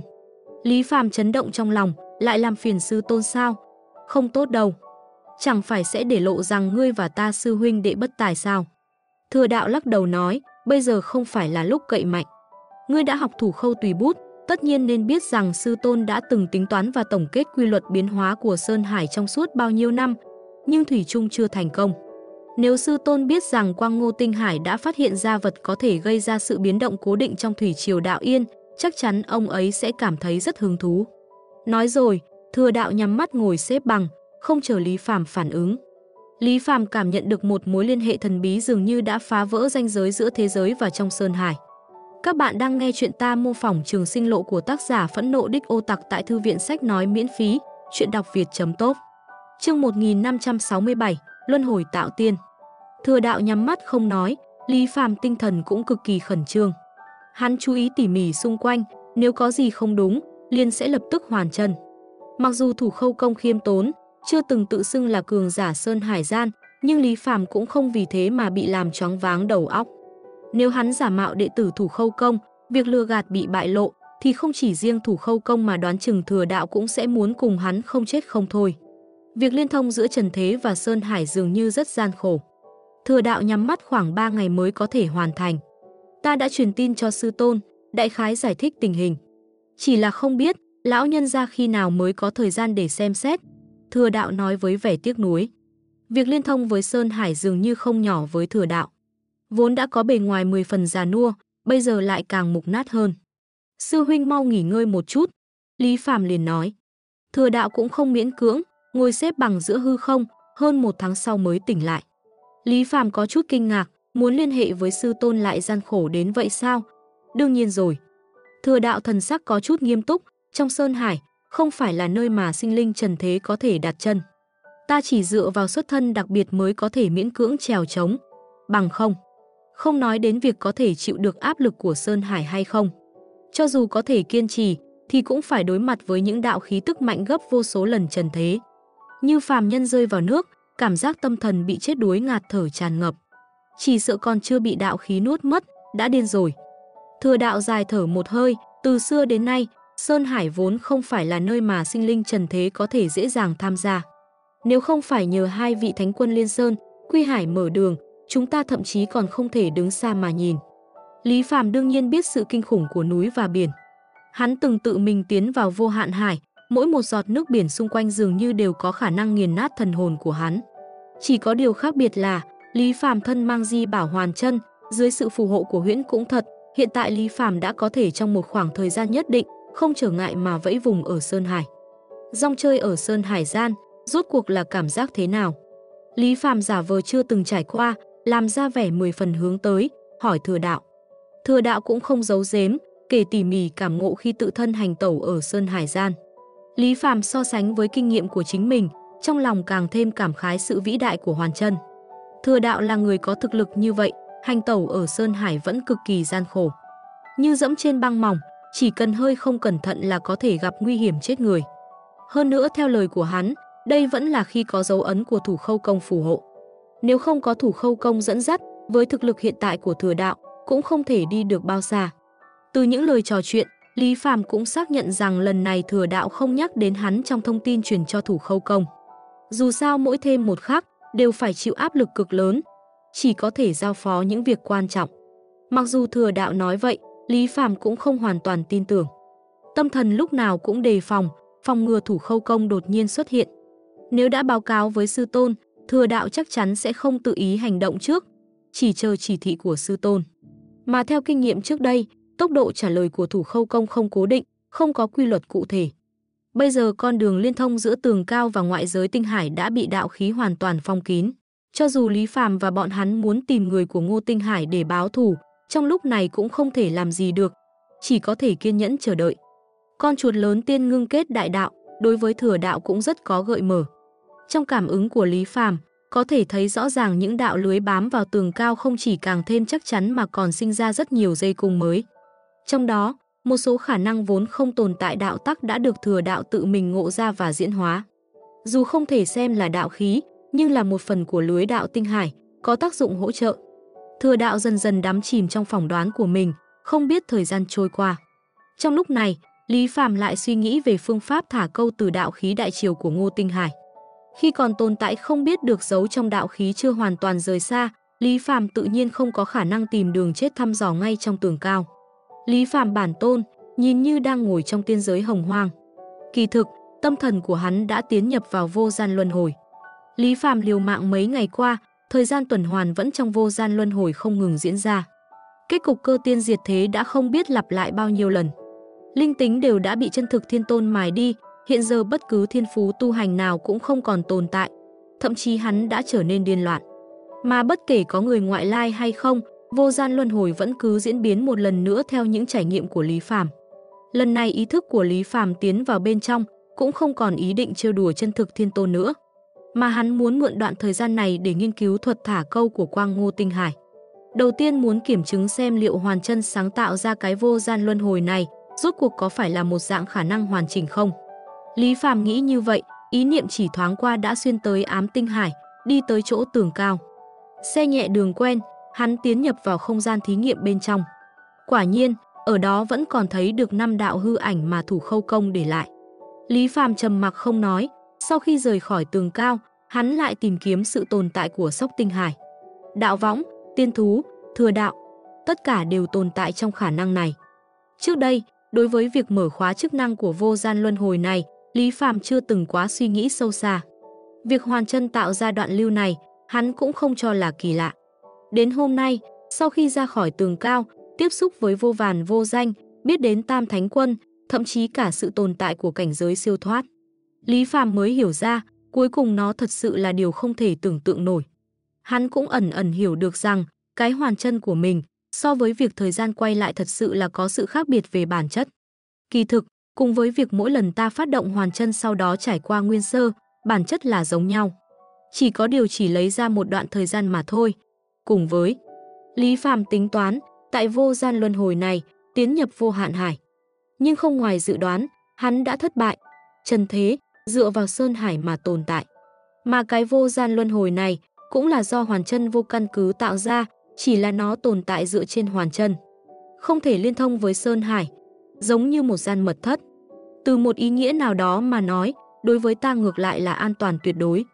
Nhưng ngược lại mà suy đoán, mỗi lần hoàn chân trong thực tế, ta cũng đang tái tạo Sơn Hải. Trước đây, Lý Phàm căn cứ vào tình trạng tuổi thọ lớn nhỏ giữa trần thế để phán đoán, sau khi phát động hoàn chân, toàn bộ trạng thái Sơn Hải đều bị thiết lập lại. Nhưng giờ đây, trong lòng Lý Phàm lại một lần nữa dấy lên lo nghĩ. Bởi vì khi hắn thật sự gặp được sự vĩ đại của Sơn Hải, cùng với sự biểu hiện của Hoàn Chân khi đối mặt với Sơn Hải, Lý Phàm phát hiện tựa như Hoàn Chân không hề áp đảo Sơn Hải. Khả năng lớn hơn là ngang hàng với Sơn Hải. Điểm này, từ việc huyễn cũng thật khi lừa gạt Sơn Hải mà thời gian kéo dài rất ngắn, có lẽ cũng đoán được. Đương nhiên, cũng có khả năng là cơ thể ta chưa thể tiếp nhận việc lừa gạt Sơn Hải trong thời gian dài. Thời gian dài dung nhập vào đó, có lẽ sẽ mang đến những tác dụng phụ không rõ. Hoàn chân vì bảo vệ ta, nên cố ý thiết lập việc kéo dài và làm lạnh này. Lý Phạm khẽ lắc đầu. Với thực lực của hắn hiện giờ, việc nhìn trộm Sơn Hải, thực sự nắm bắt chân lý, vẫn còn quá sớm. Dù như thế nào, chỉ cần có thể để hắn sử dụng được là đủ. Trong vô gian luân hồi này, Lý Phạm có thể nói là không có thiên địch tồn tại. Không cần lo lắng về Sơn Hải, lại thêm kinh nghiệm góp nhặt từ thế giới hiện thực, không mất bao nhiêu công sức, hắn một lần nữa mở ra hồng hoang tiên giới bên trong tường cao, dựng lên rất nhiều trụ trời. Có thể nói, đây là mô phỏng bên trong việc bắt trước. Thậm chí, ta ở đây hấp thu cảm ngộ đại đạo, tất cả đều là chân thực và hữu hiệu. Lý Phàm chậm rãi vuốt ve đạo tắc dao động truyền đến từ trụ trời cơ tiên, chợt cảm thấy vô cùng kỳ diệu. Mặc dù cơ tiên tạm thời bị phong ấn, nhưng điểm xuất phát và điểm kết thúc của đoạn thời gian này sớm đã bị thiết lập. Không bao lâu nữa, nàng sẽ một lần nữa trở lại tiên khư, hơn nữa hoàn toàn không nhớ gì. Ý niệm đến đây, Lý Phàm không tiếp tục quan tâm đến cơ tiên nữa. Hắn chỉ nhìn những trụ trời thẳng đứng trong sân. Vì không thật sự liên kết với núi cùng vô hạn hải, nên thủy triều đạo yên nơi này cũng chỉ là do hoàn chân mô phỏng lại.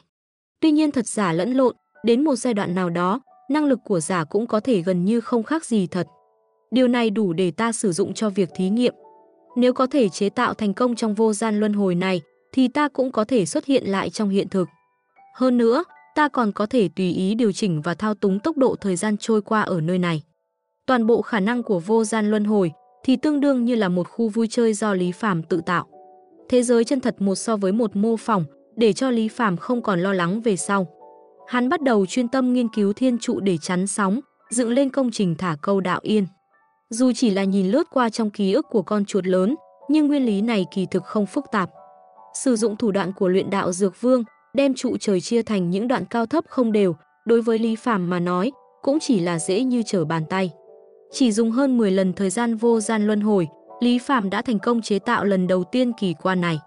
Ý niệm khẽ động, Lý Phàm tạm thời thu hồi sức mạnh của hư ảnh thủ khâu trong tường cao.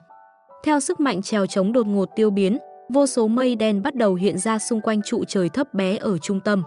Tiếng núi kêu biển gầm không ngừng truyền đến, hơn nữa càng lúc càng nghiêm trọng. Lý Phàm theo bản năng lách mình tránh xa. Thân sắc hắn ngưng trọng, đánh giá vực sâu hắc ám vòng xoáy phía trước. Nhìn rất lâu, hắn cũng không thể thấy sự khác biệt giữa đạo yên giả này và đạo yên thật sự liên thông với Sơn Hải trong hiện thực.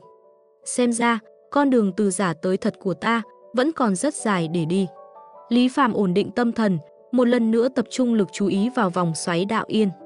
Không có liên thông với Sơn Hải, tự nhiên là không có dị vật bị hấp dẫn và dội rửa đến. Nhưng từ động tĩnh đưa đến từ đạo yên hàng thế, Lý Phạm xác nhận lần thử đầu tiên này đã thành công. Duy nhất điều mà hắn còn chưa thể làm được là, giống như Quang Ngô Tinh Hải, khi thành công dụ bắt dị vật từ đại triều đạo yên, lại có thể khôi phục trụ trời thấp bé ở trung tâm. Kết quả tạo thành là, một khi mở ra công trình này, đồng nghĩa với việc đại kiếp đạo chôn vùi thế gian sắp buông xuống không xa. Gọt đi thì dễ, nhưng đem thứ đã bị gọt đi trả lại, hơn nữa còn khiến chúng phục hồi nhanh chóng như ban đầu. Trong đầu Lý Phàm lại nhớ đến cảnh tượng khi Quang Ngô Tinh Hải thả câu vào đại triều đạo yên, từng cây trụ trời đều lộ ra gương mặt quỷ dị của những chân tiên vô danh. Nếu không có sự phối hợp tự thân của bọn chúng, chỉ e sẽ không làm được. Lý Phàm sờ cằm, nhìn về phía trụ trời nơi cơ tiên bị phong ấn. Cơ tiên trong vô gian luân hồi này, cùng với Lý Phàm trong thực tế ở Nguyên Sơ khả năng hiểu được, gần như hoàn toàn tương đồng. Khi nàng chứng kiến Lý Phàm bày ra rất nhiều thủ đoạn nghịch thiên, cùng với kết cục thảm thương của những người hóa thành trụ trời và bị chân tiên đồng liêu chặt đi, nàng đã sáng suốt lựa chọn hợp tác. Ta có thể thông qua luyện đạo dược vương kinh, tước đoạt lĩnh ngộ đạo tắc của ngươi. Như vậy, ngươi cũng có thể thông qua luyện đạo dược vương kinh để đoạt lại những gì đã mất. Sinh tử giống như, hợp nhất với đạo. Tiêu giao ngoại vật, ngô đan chính là thành. Đây là thuật đại đan của thiên địa, ta sẽ giảng cho ngươi nghe. Lý Phàm không keo kiệt chút nào, truyền đạt môn diệu pháp vô thượng này. Ban đầu cơ tiên còn có chút sợ hãi, nhưng sau khi dần dần nhận thức sâu hơn về luyện đạo dược vương, toàn bộ tâm thần của nàng đã bị chậm rãi hấp dẫn. Ngộ tính của cơ tiên cũng không hề tệ. Lý Phàm gần như phải đợi đến hết kiên nhẫn, nàng mới miễn cưỡng nắm được luyện đạo diệu pháp này. Tuy nhiên, Lý Phàm phát hiện, mặc dù cơ tiên nhập môn chậm, nhưng trong quá trình vận dụng thực tế, nàng thậm chí còn thuần thục hơn cả hắn. Cẩn thận quan sát, Lý Phàm mới nhìn ra chút manh mối, đạo cơ này ẩn chứa sự tương hợp tự nhiên với luyện đạo dược vương cảnh kinh. Khi ta luyện chế đạo đan, còn cần thông qua người bên ngoài nuốt để chuyển hóa, mới có thể đảm bảo an toàn tuyệt đối. Nhưng cơ tiên lại không có lo lắng như vậy, không gì kiêng kỵ, trực tiếp nuốt vào. Dù rằng nàng cũng bị cầm tù, căn bản không cần lo lắng luyện đạo dược vương kinh giấu âm mưu gì sau lưng. Nhưng điều này cũng phần nào nói rõ, đại đạo của cơ chi, tính đặc thù của đạo tắc ngoại lai này. Dù đi đến những khả năng khác nhau sau đó, vẫn có thể thay thế và tìm lại sự sống mới. Như vậy, dù không biết ở bên Ngô Tinh Hải, rốt cuộc làm sao thực hiện việc chuyển đổi trụ trời cao thấp, nhưng thông qua những gì tự mình học được, Lý Phàm đã đạt được hiệu quả mà hắn mong muốn sau khi trải qua một phen chắc trở. Sau đó, Lý Phàm thông qua phản hồi từ cơ tiên, tiến hành sửa chữa luyện đạo dược vương kinh. Loại bỏ những phần không cần thiết, pháp môn chỉ cần có thể phối hợp để đạt tới trụ trời biến động là đủ. Mục đích đã đạt được, từ lúc Lý Phàm tiến vào vô gian luân hồi, tổng cộng cũng chỉ mất 20 lần thời gian. Trong thế giới hiện thực, cũng chỉ vừa mới trải qua một thời ba khắc. Đây chính là sự đáng sợ của hoàn chân vĩ lực. Lý Phàm nhìn cơ tiên đã học thành diệu pháp và đang đắc ý, trong lúc luân hồi lại một lần nữa khởi động, trên gương mặt nàng lộ rõ biểu cảm kinh ngạc. Trong lòng hắn chợt nhớ đến một câu mà thủ khâu công từng nói với thừa đạo. Không quan trọng chung cuộc, giống như điểm xuất phát và điểm kết thúc của vô gian luân hồi này đã được định trước. Có lẽ, mọi thứ giữa trần thế cũng đã được quyết định từ lâu. Dù chúng sinh dãy dụa thế nào, kết cục từ đầu đến cuối không thay đổi. Lý Phàm nghĩ ngợi, không khỏi hơi sửng sốt. Chương 1568, Sơn Hải lên gió lớn. Toàn bộ giữa trần thế, bao gồm cả núi non và biển cả, chẳng qua cũng chỉ là một vòng lớn của vô gian luân hồi. Giống như thiên tôn chân thật, bất kể thử thế nào, cũng không thể thay đổi được vận mệnh của huyền hoàng giới bị tiên khư nuốt hết.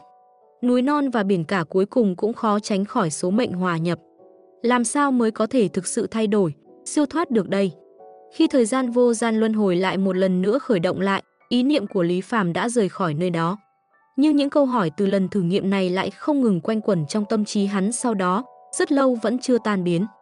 Thậm chí khi hắn thử nghiệm tiên đê trụ trời trong hiện thực, những suy nghĩ này vẫn thường xuyên thoáng qua trong đầu. Thực tế đã chứng minh, vô gian luân hồi gần như hoàn toàn giống với nguyên sơ.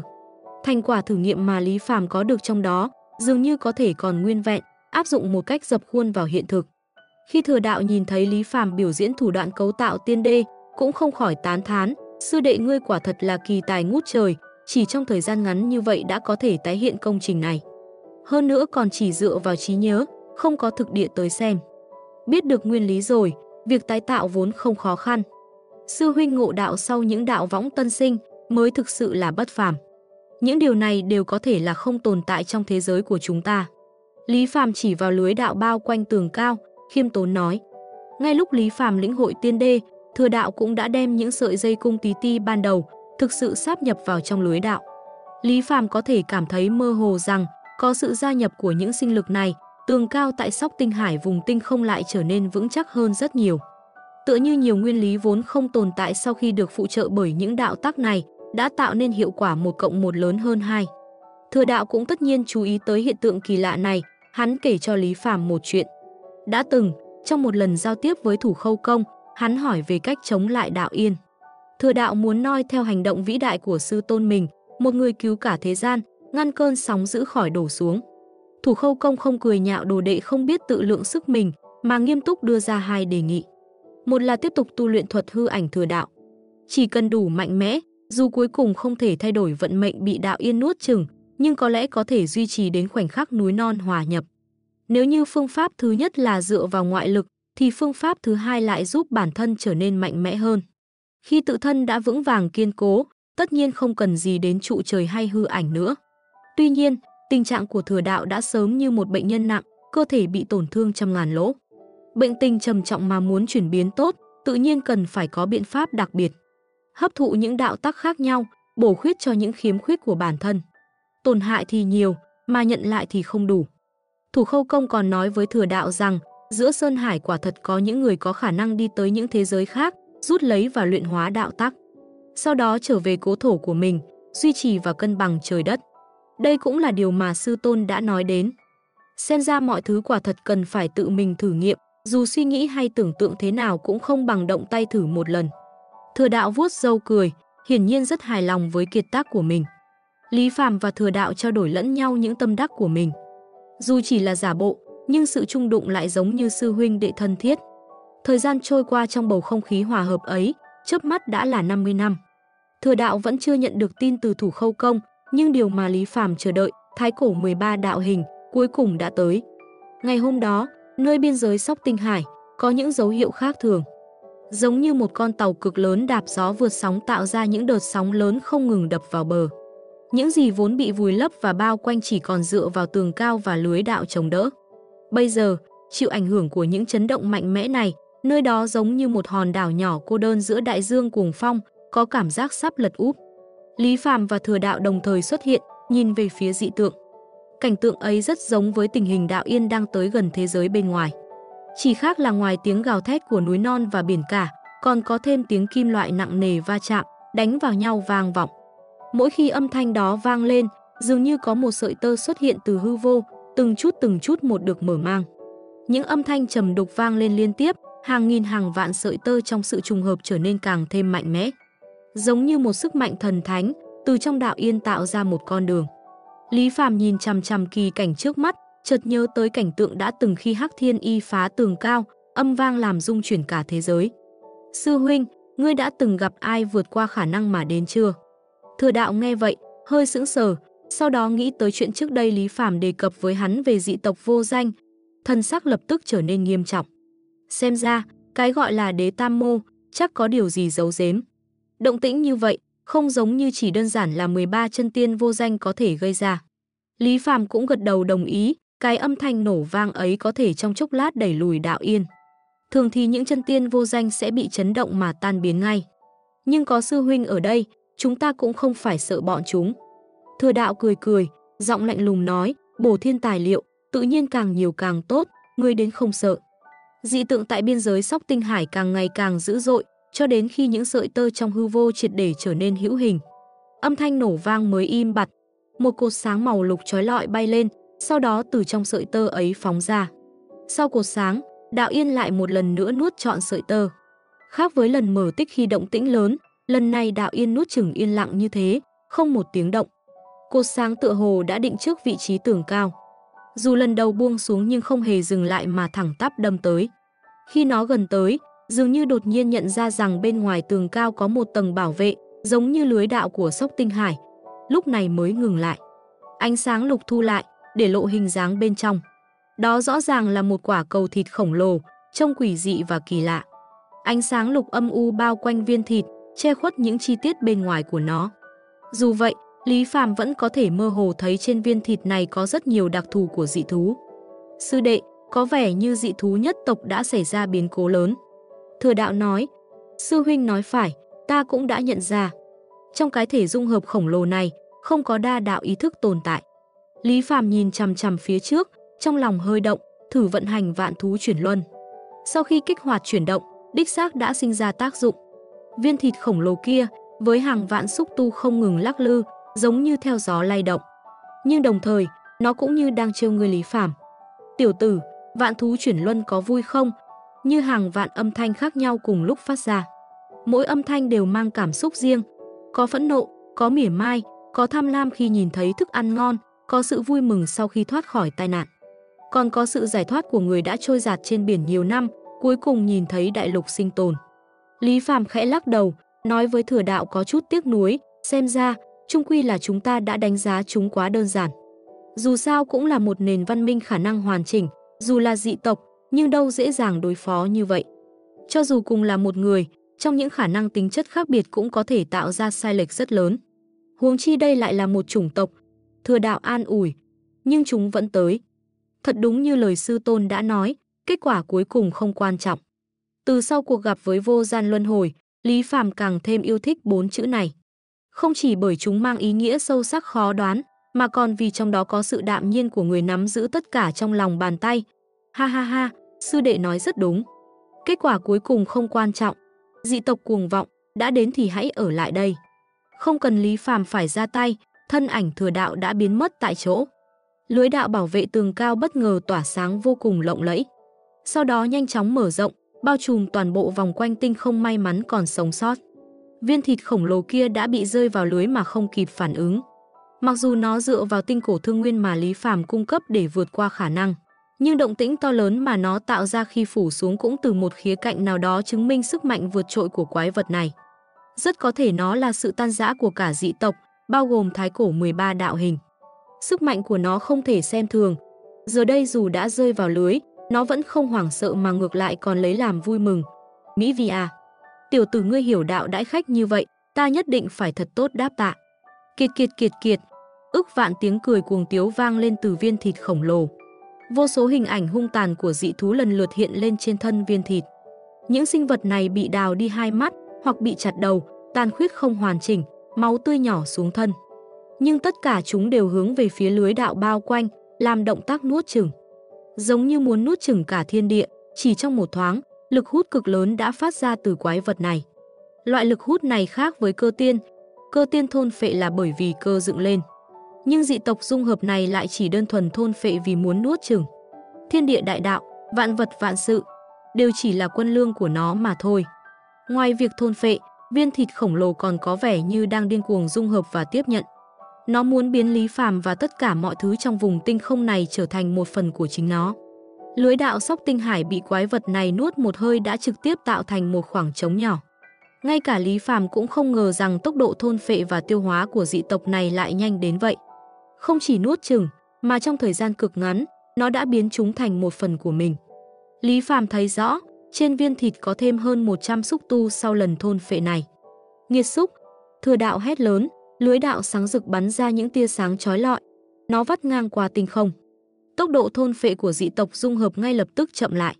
Thừa đạo đưa hai tay, phá tan hư không, đè mạnh xuống viên thịt khổng lồ. Mặc kệ những dị thú tham lam gặm nhấm, một tay của hắn vẫn vững vàng đè xuống. thân ảnh thừa đạo thậm chí còn vững chắc hơn cả đại đạo. Dị tộc dung hợp có thể gặm nhấm đại đạo, nhưng với Sơn Hải gian ngoan thạch, chúng hoàn toàn bất lực. Trong thoáng chốc, hàng vạn đầu xúc tu đã tan vỡ trong tiếng kêu thảm thiết.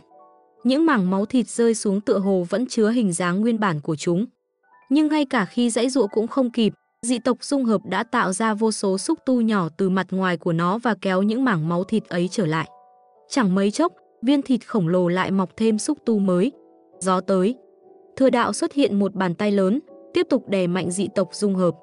Tay khác lại hướng về chỗ viên thịt xuất hiện, nhẹ nhàng một chiêu. Ong ong. Giống như điềm báo của một cơn lốc, trang cảnh trọng trùy vừa qua tái hiện. Nhưng lần này, không phải phân hải trong hư vô, mà là những cơn sóng đạo yên đang bị hút tới. Lý Phàm quan sát trận chiến, con ngươi co lại. Một chiêu này của thừa đạo chưa từng sử dụng trước đây. Thậm chí trong các cuộc luận đạo bình thường, hắn cũng chưa từng nhắc tới. Rõ ràng bị dị tộc dung hợp thôn phệ làm cho nổi giận. Trận gợn sóng này không phải là ảo giác. Đó là đạo yên chân chính.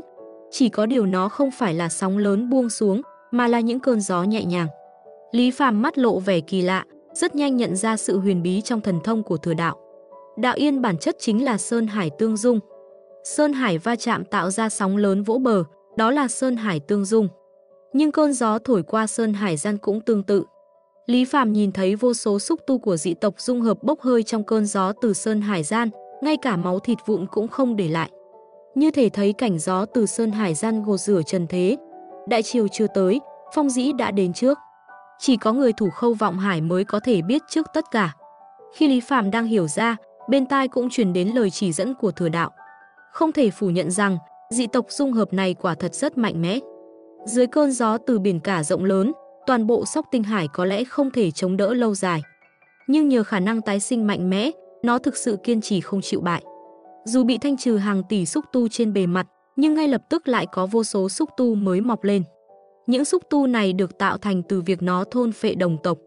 Giờ đây chúng cũng trở thành một lớp phòng hộ cho nó.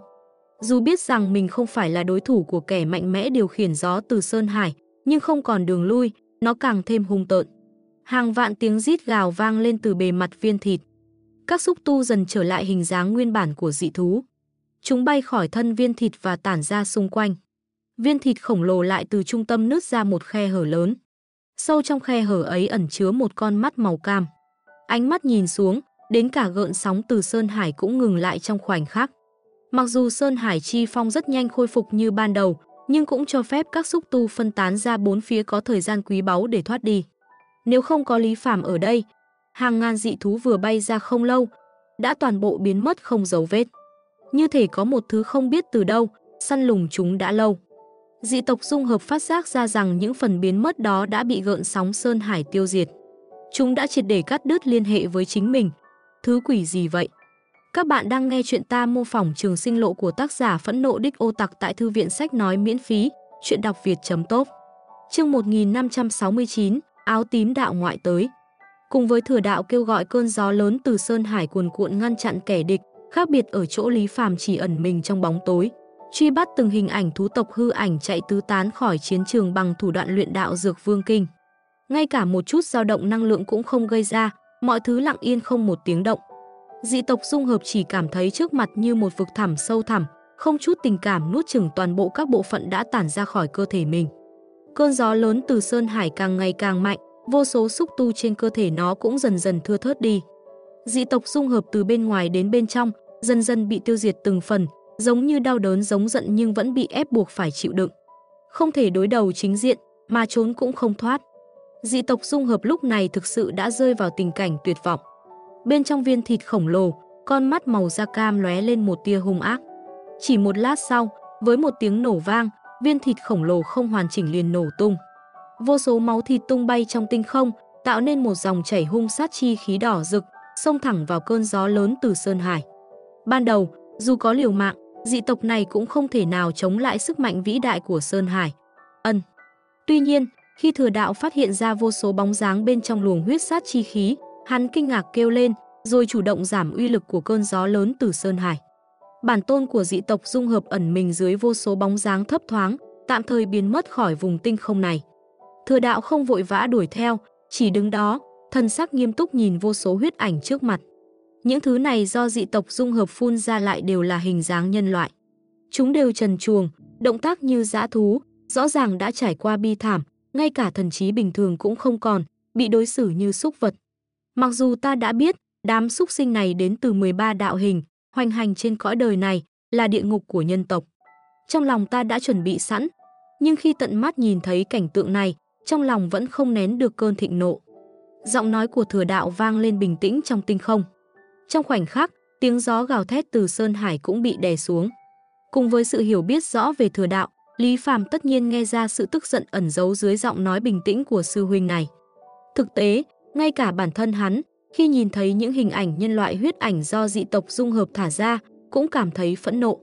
Đây có lẽ là những người chạy nạn trước khi tới đây, bị dị tộc tàn sát và hấp thu. Nhưng đối với họ mà nói, chết có lẽ còn là một sự giải thoát. Lý Phàm khó có thể tưởng tượng nếu bản thân mình với tư cách là một người, rơi vào khả năng như vậy thì kết cục sẽ ra sao. Chắc chắn rằng ngay cả khi có khả năng vô hạn luân hồi thần thông, hắn cũng không thể thoát khỏi số phận ấy. Vật này đáng chết, có nghĩ rằng trốn vào trong tinh không thì có thể thoát khỏi tầm mắt của ta và sư huynh sao? Ngươi biết đây chỉ là một đảo hoang, nếu không có khả năng vượt biển rộng, khi ngươi tới đây, đã không còn đường trốn thoát. Lý Phàm đem toàn bộ cơn phẫn nộ, không phải chỉ là biểu hiện ra ngoài mà thật sự là cảm xúc từ đáy lòng. Tiếng như sấm, vang vọng thật lâu trong tinh không của sóc tinh hải. Lý Phàm phất ống tay áo một cái, tạm thời thu hồi hàng nghìn tỷ huyết ảnh nhân loại. Vừa để kiểm tra xem có ẩn náu dị tộc dung hợp trong đó hay không, vừa để tiện siêu độ những oan hồn này. Nhưng không phải là loại siêu độ khiến hồn phách tan biến hoàn toàn, mà là biến những huyết ảnh đã qua đi thành lưu quang, để chúng bay vào tiên giới hồng hoang. Ở đó, những oan hồn này sẽ có cơ hội tái sinh sau vài chục năm luân chuyển giữa thiên địa.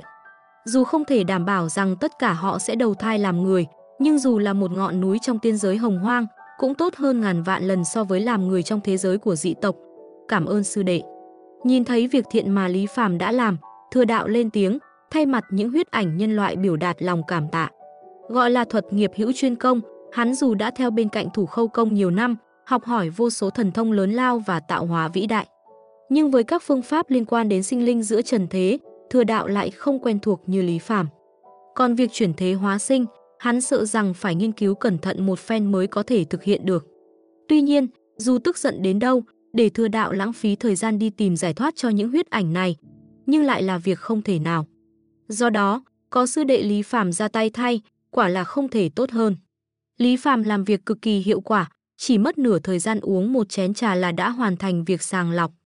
Những huyết ảnh nhân loại được chuyển thế đầu thai, còn phần của dị tộc dung hợp còn sót lại thì trực tiếp bị luyện thành đạo đan. Rất nhanh, tinh không đầy ô yên và chứng khí do sự tự bạo của dị tộc dung hợp gây ra đã khôi phục lại như trước. Sư huynh, huynh nói tên nghiệt xúc đó đã trốn đi đâu? Lý Phàm cười hỏi. Trong lúc nói chuyện, sự chú ý của Lý Phàm vẫn đang tập trung vào chiêu thức Sơn Hải Chi Phong mà thừa đạo vừa sử dụng. Do đã từng thân nhập vào Sơn Hải, hắn càng có thể cảm nhận được sự tinh diệu của chiêu thức này. Tên nghiệt xúc đó chắc chắn không thể vượt qua được sự che chở của hư ảnh sư tôn, cũng không ở trong đạo võng của ta. Thừa đạo thu lại thần thông, ánh mắt quét qua tinh không, sát ý trong mắt không hề thu liễm chút nào. Một phen tra xét, nhưng không tìm thấy dấu vết của dị tộc dung hợp. Vẫn còn giỏi che giấu. Thừa đạo hừ lạnh, ta lại có một ý tưởng. Sư huynh hãy đi theo ta. Lý Phàm cười lớn, đi trước mở đường. Thừa đạo theo sát phía sau, không bao lâu, đã đi tới biên thủy của sóc tinh hải hiện tại. Do kế sách gắp lửa bỏ tay người của Quang Ngô Tinh Hải, bộ phận tinh không vốn thuộc sóc Tinh Hải đã bị đạo yên nuốt mất. Vùng khu vực này của Tinh Hải vốn nằm ở giữa, nay đã trở thành biên thủy. Lý Phàm dẫn thừa đạo tới đây chính là vị trí mà trước đây đế Tam Mô đã vượt qua và biến mất. Sau khi giải thích chân tướng cho thừa đạo, Lý Phàm lại nói, tên đó đã liều mạng mang theo nhà cửa và người thân. Nhưng rốt cuộc chỉ còn lại kết quả toàn quân bị tiêu diệt, cuối cùng chỉ có thể nhờ nơi đây để trốn chạy nhưng muốn thoát khỏi sự truy tìm của ta và sư huynh. Lý Phàm nhìn về phía trước, âm thanh lạnh lùng vang lên, nghiệt xúc. Còn chưa cút ra đây, tinh không vẫn yên tĩnh. Sau vài hơi thở, một thân ảnh đột ngột xuất hiện. Khác với hình dạng thiên thủ viên thịt quái dị trước đây, bây giờ xuất hiện trước Lý Phàm và Thừa Đạo là một hình dạng đạo hình đầy uy nghiêm và thần thánh. Long thân, kỳ lân sừng, đuôi huyền vũ, đôi mắt thần, lông chú tước. Giống như rất nhiều đạo hình dung hợp, hiện diện giữa tinh không.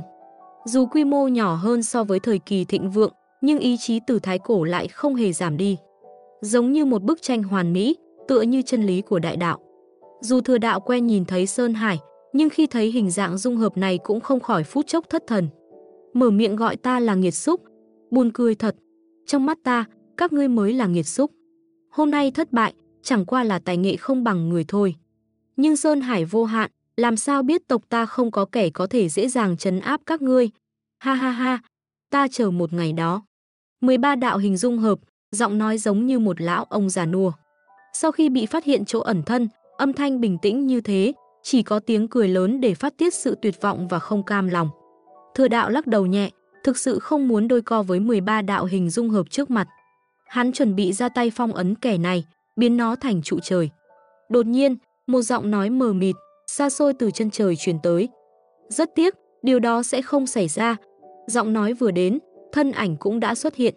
Người tới mặc áo tím hoa phục, mặt như ngọc, tóc đỏ tùy ý rũ xuống bên hông, giữa mi tâm còn có một nốt ruồi giống như con mắt thứ ba.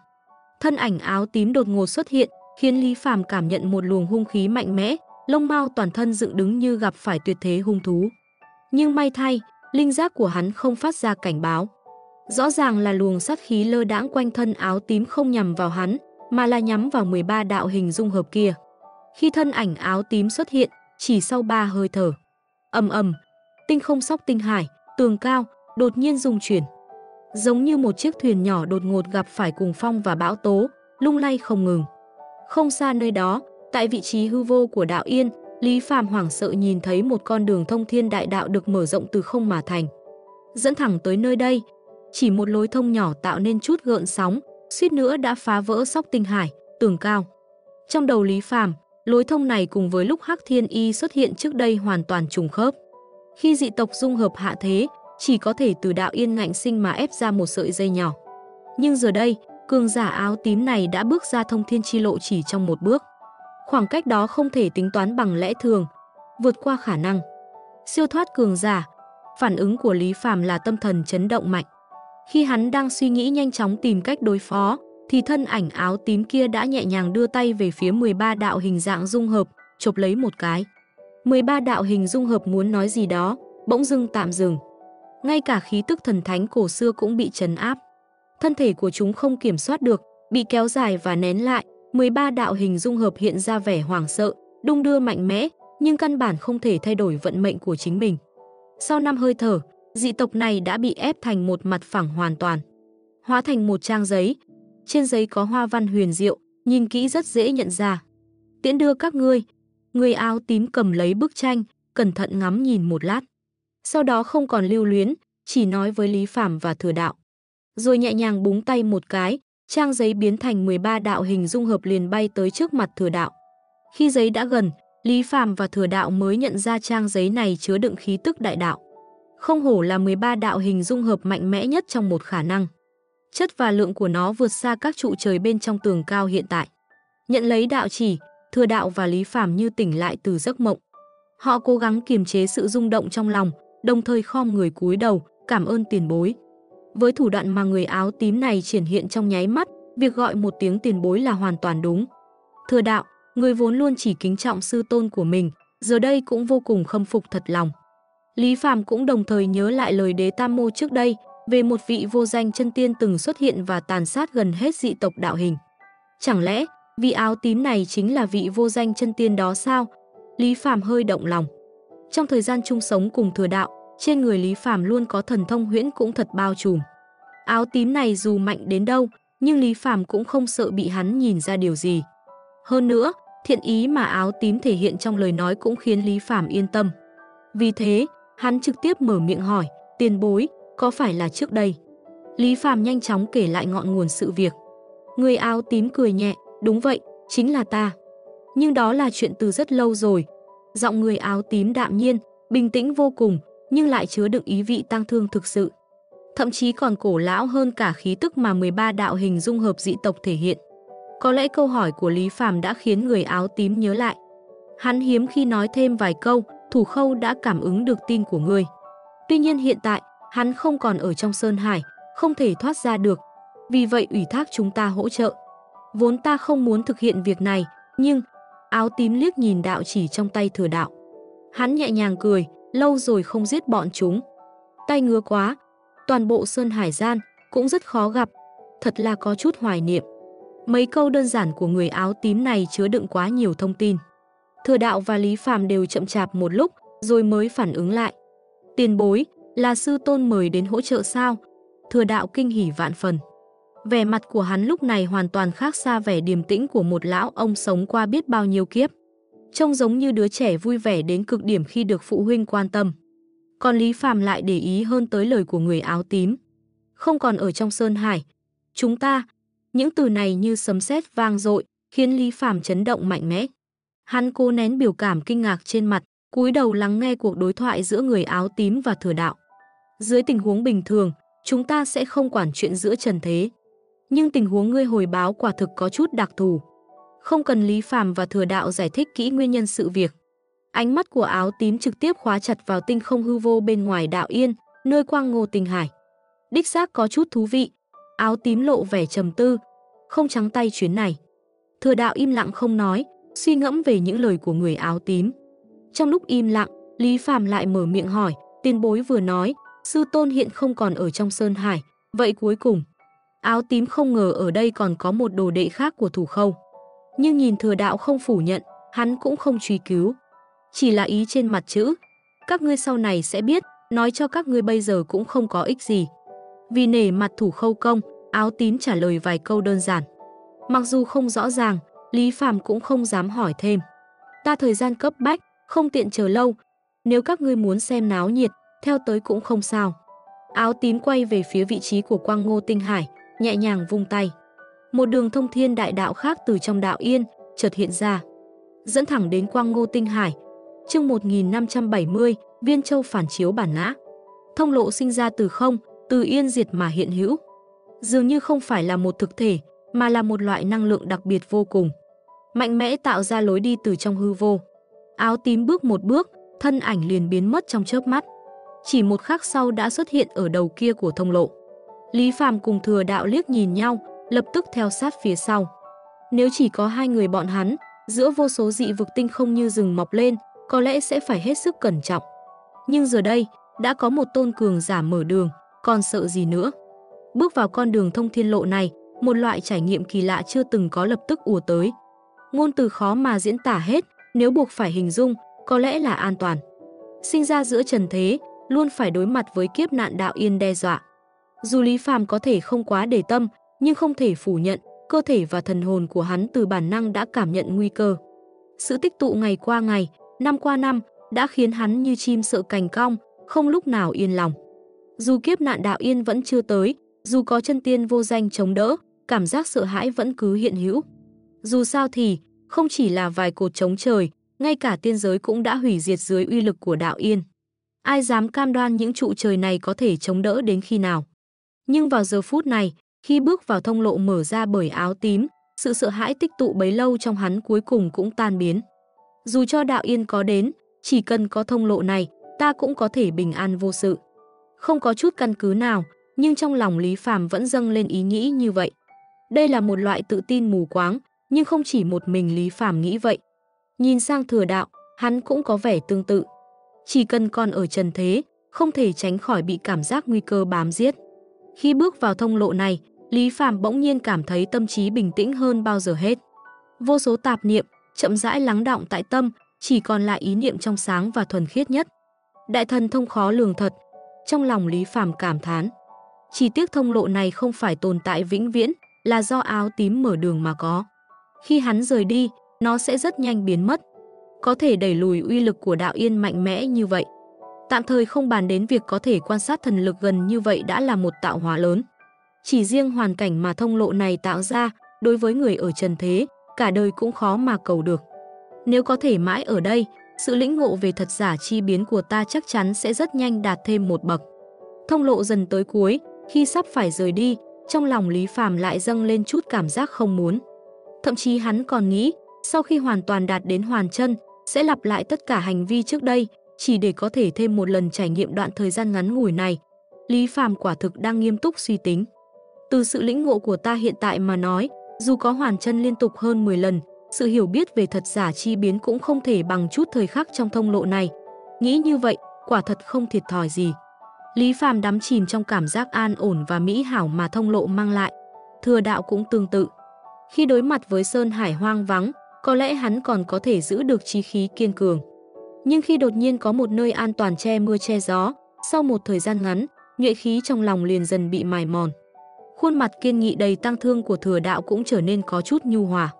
Có lẽ áo tím nhận ra suy nghĩ của hai người trẻ tuổi này, lời nói của hắn chậm rãi vang tới, cắt đứt dòng suy nghĩ của bọn họ. Chỉ có thể nhìn, không thể học. Đây là đạo của ta, không phải là đạo của các ngươi. Cuối cùng, các ngươi phải tự mình bước ra con đường duy nhất của mình, mới có tư cách vượt qua Sơn Hải. Lý Phàm cùng thừa đạo nghe vậy, nội tâm chấn động. Sợi tham niệm trong lòng họ liền tiêu tan trong nháy mắt, đa tạ tiền bối chỉ điểm. Hai người tỉnh lại, vội vàng hướng áo tím gửi lời cảm ơn.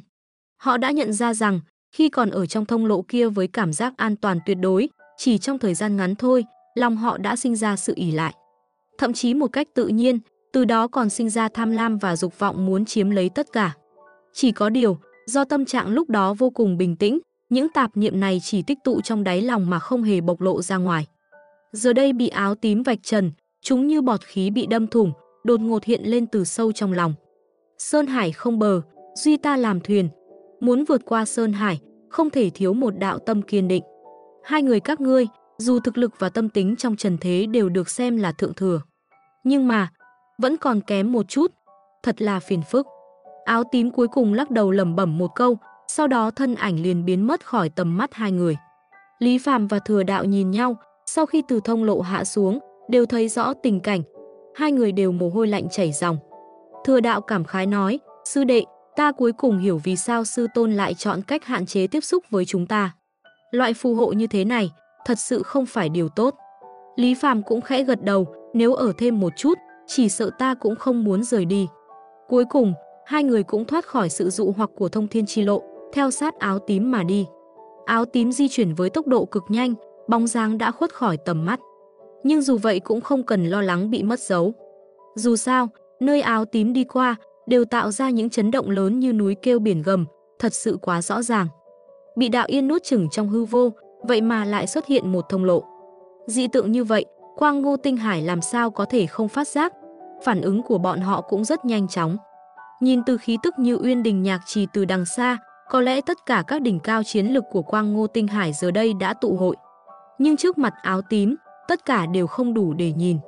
Một cường giả có khả năng vượt qua mọi giới hạn, tuyệt đối không phải là điều mà các chân tiên của Quang Ngô Tinh Hải lúc này có thể ngăn cản. Lý Phàm và Thừa Đạo đi theo con đường mà áo tím đã qua, một mạch tiến về phía trước. Cuối cùng họ hiểu thế nào là chân chính bẻ gãy nghiền nát. Khắp nơi đều là những lá bùa màu tím phiêu tán, rõ ràng là những chân tiên bị chấn áp ép xuống. Lý Phàm thử thăm dò, cố gắng thu hồi những lá bùa này. Lại phát hiện áo tím không hề ra tay sát hại, chỉ là tạm thời khống chế họ lại. Lý Phàm còn có thể mơ hồ cảm nhận được ý niệm sợ hãi tột cùng của các chân tiên bị phong ấn trong những lá bùa đó. Do dự một hồi, Lý Phàm và Thừa Đạo quyết định tạm thời không hành động liều lĩnh. Họ tiếp tục nhanh chóng tiến về phía áo tím. Càng tiến gần, số lượng chân tiên bị phong ấn xung quanh cũng càng nhiều. Dường như nơi đó có thứ gì đó vô cùng quan trọng đáng để họ bảo vệ. Dù phải liều mạng, cũng nhất định phải ngăn chặn địch thủ đến gần. Nhưng bọn họ chống cự, cuối cùng cũng chỉ là phí công. Chênh lệch thực lực giữa hai bên thực sự quá lớn. Dù có liều chết, cũng chẳng tạo ra được bất kỳ tác dụng ngăn cản nào. Tuy nhiên, dù sao họ cũng có thể sinh tồn từ đại kiếp đến nay, thậm chí còn có khả năng chống lại đạo yên, đích thực là có nội tình. Tiền bối không nên lấn hiếp người quá đáng. Phía trước vang lên một tiếng hét lớn, tiếp đó bộc phát ra những ba động dữ dội, dường như đã không còn nằm trong động tĩnh do áo tím gây ra. Khi Lý Phàm và Thừa Đạo đến hiện trường, phát hiện xung quanh tinh không đã tạo thành một khu vực chân không cực lớn. Vốn nơi này là nơi hội tụ của một số kiến trúc trọng yếu, nhưng giờ đây chỉ còn lại hầu như không gì cả, dường như đã bốc hơi hết. Áo tím đang nhìn một quả quang cầu trong tay với vẻ hứng thú. Bên trong quang cầu, hình ảnh không ngừng biến đổi, tựa như có vô số bóng người đang nhảy múa. Trước mặt áo tím, một nam tử trung niên quần áo tả tơi, lộ vẻ tuyệt vọng. Đạo kỳ hình chiếu, thứ này không phải do các ngươi tạo ra, cũng là các ngươi thả câu được sao? Áo tím nhàn nhạt, nhạt hỏi, nhẹ nhàng bóp quả quang cầu, làm cho nó bị nén đến vô cùng, cuối cùng chỉ còn lại một điểm sáng rực rỡ. Sau đó, áo tím ném điểm sáng này về phía thừa đạo. Dường như lo lắng thừa đạo không thể chịu được uy áp của điểm sáng này, áo tím còn phủ thêm một loại sức mạnh bảo hộ tương tự như thông thiên chi lộ bên ngoài điểm sáng. Nhờ đó thừa đạo có thể quan sát rõ ràng tình hình bên trong điểm sáng mà không bị ảnh hưởng. Thừa đạo đầu tiên là gửi lời cảm ơn áo tím, sau đó bắt đầu nhìn vào điểm sáng trong tay. Một lát sau, Lý Phàm phát hiện sư huynh của mình không kìm được mà khẽ run lên. Mồ hôi lạnh chảy dòng trên trán, dường như đang phải gánh chịu một sức ép lớn. Vài hơi thở trôi qua, thừa đạo cố nén rời ánh mắt khỏi điểm sáng. Tuy nhiên, sắc mặt của hắn vẫn tái nhợt, dáng vẻ hư thoát như trước. Long Lý Phàm không khỏi kinh ngạc. Phải biết rằng, bản thể của thừa đạo chính là một linh thạch cạnh Sơn Hải. Nương theo thủ khâu công và thủ khâu vọng hải. Ngay cả phong cảnh Sơn Hải, hắn cũng có thể thản nhiên đối diện. Vậy mà trong quả quang cầu này là gì, khiến thừa đạo thất thố đến vậy? Lý Phàm lộ vẻ quan tâm, nhưng thừa đạo dường như vẫn chưa thoát ra khỏi tác dụng phụ khi quan sát quả quang cầu. Chỉ lặng lẽ đưa quả quang cầu, thứ được gọi là đạo kỳ hình chiếu, cho Lý Phàm, ra hiệu hắn tự mình xem. Sau đó, thừa đạo nhắm mắt dưỡng thần, không nói thêm lời nào. Thấy vậy, lòng Lý Phàm càng thêm tò mò. Hắn đề cao tâm thần, rồi nhìn vào bên trong quả quang cầu. Trong tay điểm sáng nổ tung trong khoảnh khắc, tạo ra một tiếng ầm vang. Một lần nữa chiếm giữ toàn bộ tâm thần xung quanh, thậm chí cả tâm trí Lý Phàm. Vô tận quang ảnh như nước chảy tuần tự diễn biến. Từ đại đạo không còn tuyệt đối hư vô, đến sự sinh thành của đạo, hỗn độn hư không, rồi đến thế giới sơ khai, sinh linh dần hiển hiện. Từ sinh linh ngộ đạo, tiên giới cũng sinh ra từ đây. Vô số năm tháng trôi qua, như dòng nước lao nhanh. Cho đến cuối cùng, vạn vật đại đạo gặp khó khăn, nghênh đón ngày tận thế, từ khởi đầu đến tận cùng. Trong thời gian này, tất cả những gì xảy ra, tạo ra linh, tất cả đều được nén lại trong điểm sáng này. Thậm chí không chỉ đơn thuần là hình chiếu ghi lại. Trong quang ảnh, tất cả những đại đạo, thần thông, pháp thuật ba động từng xuất hiện từ lúc sinh ra cho đến lúc hủy diệt, đều được sao chép lại và dung nhập vào quang cầu này. Khi quang cầu bộc phát tìm đối thủ, nghĩa là phải đối mặt với vô số anh kiệt nhóm từ sinh ra đến hủy diệt, tất cả cùng liên thủ tạo ra một đòn tấn công từ trong dòng thời gian vô tận. Cảnh tượng khủng khiếp đến mức suýt chút nữa khiến Lý Phàm để rơi quang cầu trong tay. Hai chữ hoàn chân dường như đã sắp thốt ra khỏi miệng.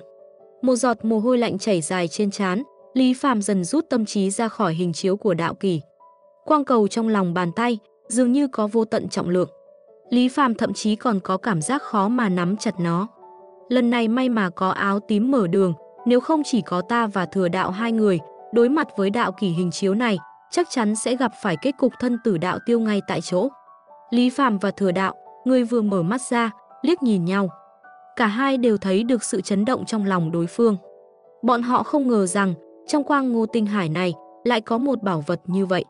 So với đạo kiếm hay đạo đao trước đây, khác biệt như đom đóm với mặt trăng sáng rực. Thả câu đạo yên, quả thật vẫn có thể xem là một loại thủ đoạn cầu sinh. Có thể sống sót trong Sơn Hải, ngoài nhóm chân tiên được ăn cả ngã về không trong mặt thế, còn có những cường giả thất bại trong việc vượt qua Sơn Hải, cuối cùng bị Sơn Hải nuốt chừng. Một số người có lẽ thần trí đã bị Sơn Hải xóa đi, nhưng thân thể của họ vẫn có khả năng tồn tại. Cùng với bảo vật mà họ mang theo bên mình. Cái đạo kỳ hình chiếu này chính là từ đó mà có sao. Áo tím đầu tiên là phá hủy tất cả trụ trời thành từng cây, tụ tập tất cả chân tiên ẩn náu bên trong trụ, sau đó ép hai tay lại ở giữa. Một trụ trời mới hoàn toàn bằng khói tím lượn lờ được sinh ra như vậy. Áo tím dựng trụ trời sừng sững ở đây, đạo yên ầm vang do thiếu hụt trụ trời cũng từ đó mà biến mất. Lý Phàm cảm nhận được, ngay trong khoảnh khắc chuyển đổi của thiên trụ, đạo yên hạ xuống có dị tượng, nhưng động tĩnh thậm chí không lớn bằng so với lúc sóc tinh hải, tường cao trước đây. Hiển nhiên là do áo tím. Chỉ cần đứng ở đó, áo tím đã giống như vô số cây trụ trời, ở mức độ nhất định chặn lại đạo yên. Quang Ngô Tinh Hải, người nam tử trung niên quần áo lam lũ kia, nhìn về phía trụ trời của chúng tiên, thất thần ngơ ngẩn. Hơn 10 vạn năm ghi chép, trong một buổi sáng bị lật đổ. Gần như đánh sập tâm trí của hắn. Đối mặt với câu hỏi của áo tím, hắn không trả lời. Tuy nhiên, người nam tử trung niên này, sau khi im lặng một lúc, lại chậm rãi lấy lại tinh thần. Hắn khàn giọng nói, tiền bối nói không sai, chúng ta quả thật đã may mắn có được một tôn lột xác. Đây vốn là vận mệnh của chúng ta, nhưng không ngờ. Áo tím cắt ngang lời của người nam tử trung niên, đây chính là vận mệnh của các ngươi. Cái đạo kỷ hình chiếu kia có lẽ không đáng nhắc tới. Nhưng cường giả đã lột xác kia có lẽ đã sớm vượt qua mọi giới hạn. Chỉ tiếc, các ngươi lại lạc lối. Dùng thân thể làm thầy, ta có thể ngộ ra đạo của cường giả trước kia. Còn các ngươi đã làm được gì? Thân sắc của người nam tử trung niên trở nên mơ hồ, một lúc lâu sau mới thì thầm đưa hắn trở về đạo yên, dùng làm thuyền. Sau đó tìm nơi an toàn khác. Thứ hai, sưu tập những bảo vật phiêu lưu tương tự. Áo tím hừ lạnh, không chút nể nang mà mắng, ngu xuẩn. Người nam tử trung niên lại thở dài, không phải chúng ta không muốn lĩnh ngộ, mà thật sự không thể. Lô xác như núi hiện ở trước mắt, chúng ta lại như thân ở trong núi, không thể nhìn thấy chân diện mục của nó. Chúng ta đã thử qua rất nhiều năm, nhưng vẫn không thành công. Dưới sự bất đắc dĩ, cuối cùng đành phải từ bỏ và tìm cách dùng khác. Người nam tử trung niên vốn nghĩ rằng lời giải thích này sẽ khiến áo tím thông cảm. Không ngờ áo tím gật đầu, lạnh lùng nói, càng ngu xuẩn hơn, đã không còn thuốc chữa. Áo tím nhẹ nhàng điểm về phía nam tử trung niên của Quang Ngô Tinh Hải, người nam tử há miệng, muốn nói thêm điều gì. Chỉ một khắc sau, hắn giống như bọt biển nổ tung, hóa thành ngàn vạn tử sắc quang ảnh, bị tinh không xung quanh nuốt chửng. Một vị ít nhất là cường giả cảnh giới chân tiên vô danh, cứ như vậy bị áo tím tiện tay xóa sổ. Lý Phàm và Thừa Đạo chứng kiến cảnh này, không khỏi trong lòng run lên. Nếu không phải nể mặt thủ khâu công, vì áo tím này chắc chắn sẽ không dễ dàng nói chuyện như vậy. Áo tím dường như coi chuyện này là việc nhỏ, rất nhanh liền ném hình ảnh của người nam tử trung niên ra khỏi tâm trí. Hắn bước tới vị trí trung tâm nơi trụ trời từng đứng, nhìn thẳng về phía trước. Ánh mắt như muốn xuyên qua Sơn Hải và Trần Thế. Các bạn vừa nghe xong tập 157 của bộ truyện ta mô phỏng trường sinh lộ của tác giả phẫn nộ đích ô tặc tại thư viện sách nói miễn phí, chuyện đọc việt.top. Mọi ý kiến góp ý xin vui lòng cho mình biết ở dưới phần bình luận video này. Và các bạn đừng quên nhấn like và đăng ký theo dõi để có thể cập nhật các nội dung mới nhất nhé. Bên cạnh đó, các bạn cũng có thể đóng góp ủng hộ kênh theo mã QR trên video hoặc số tài khoản ở phần mô tả. Xin cảm ơn.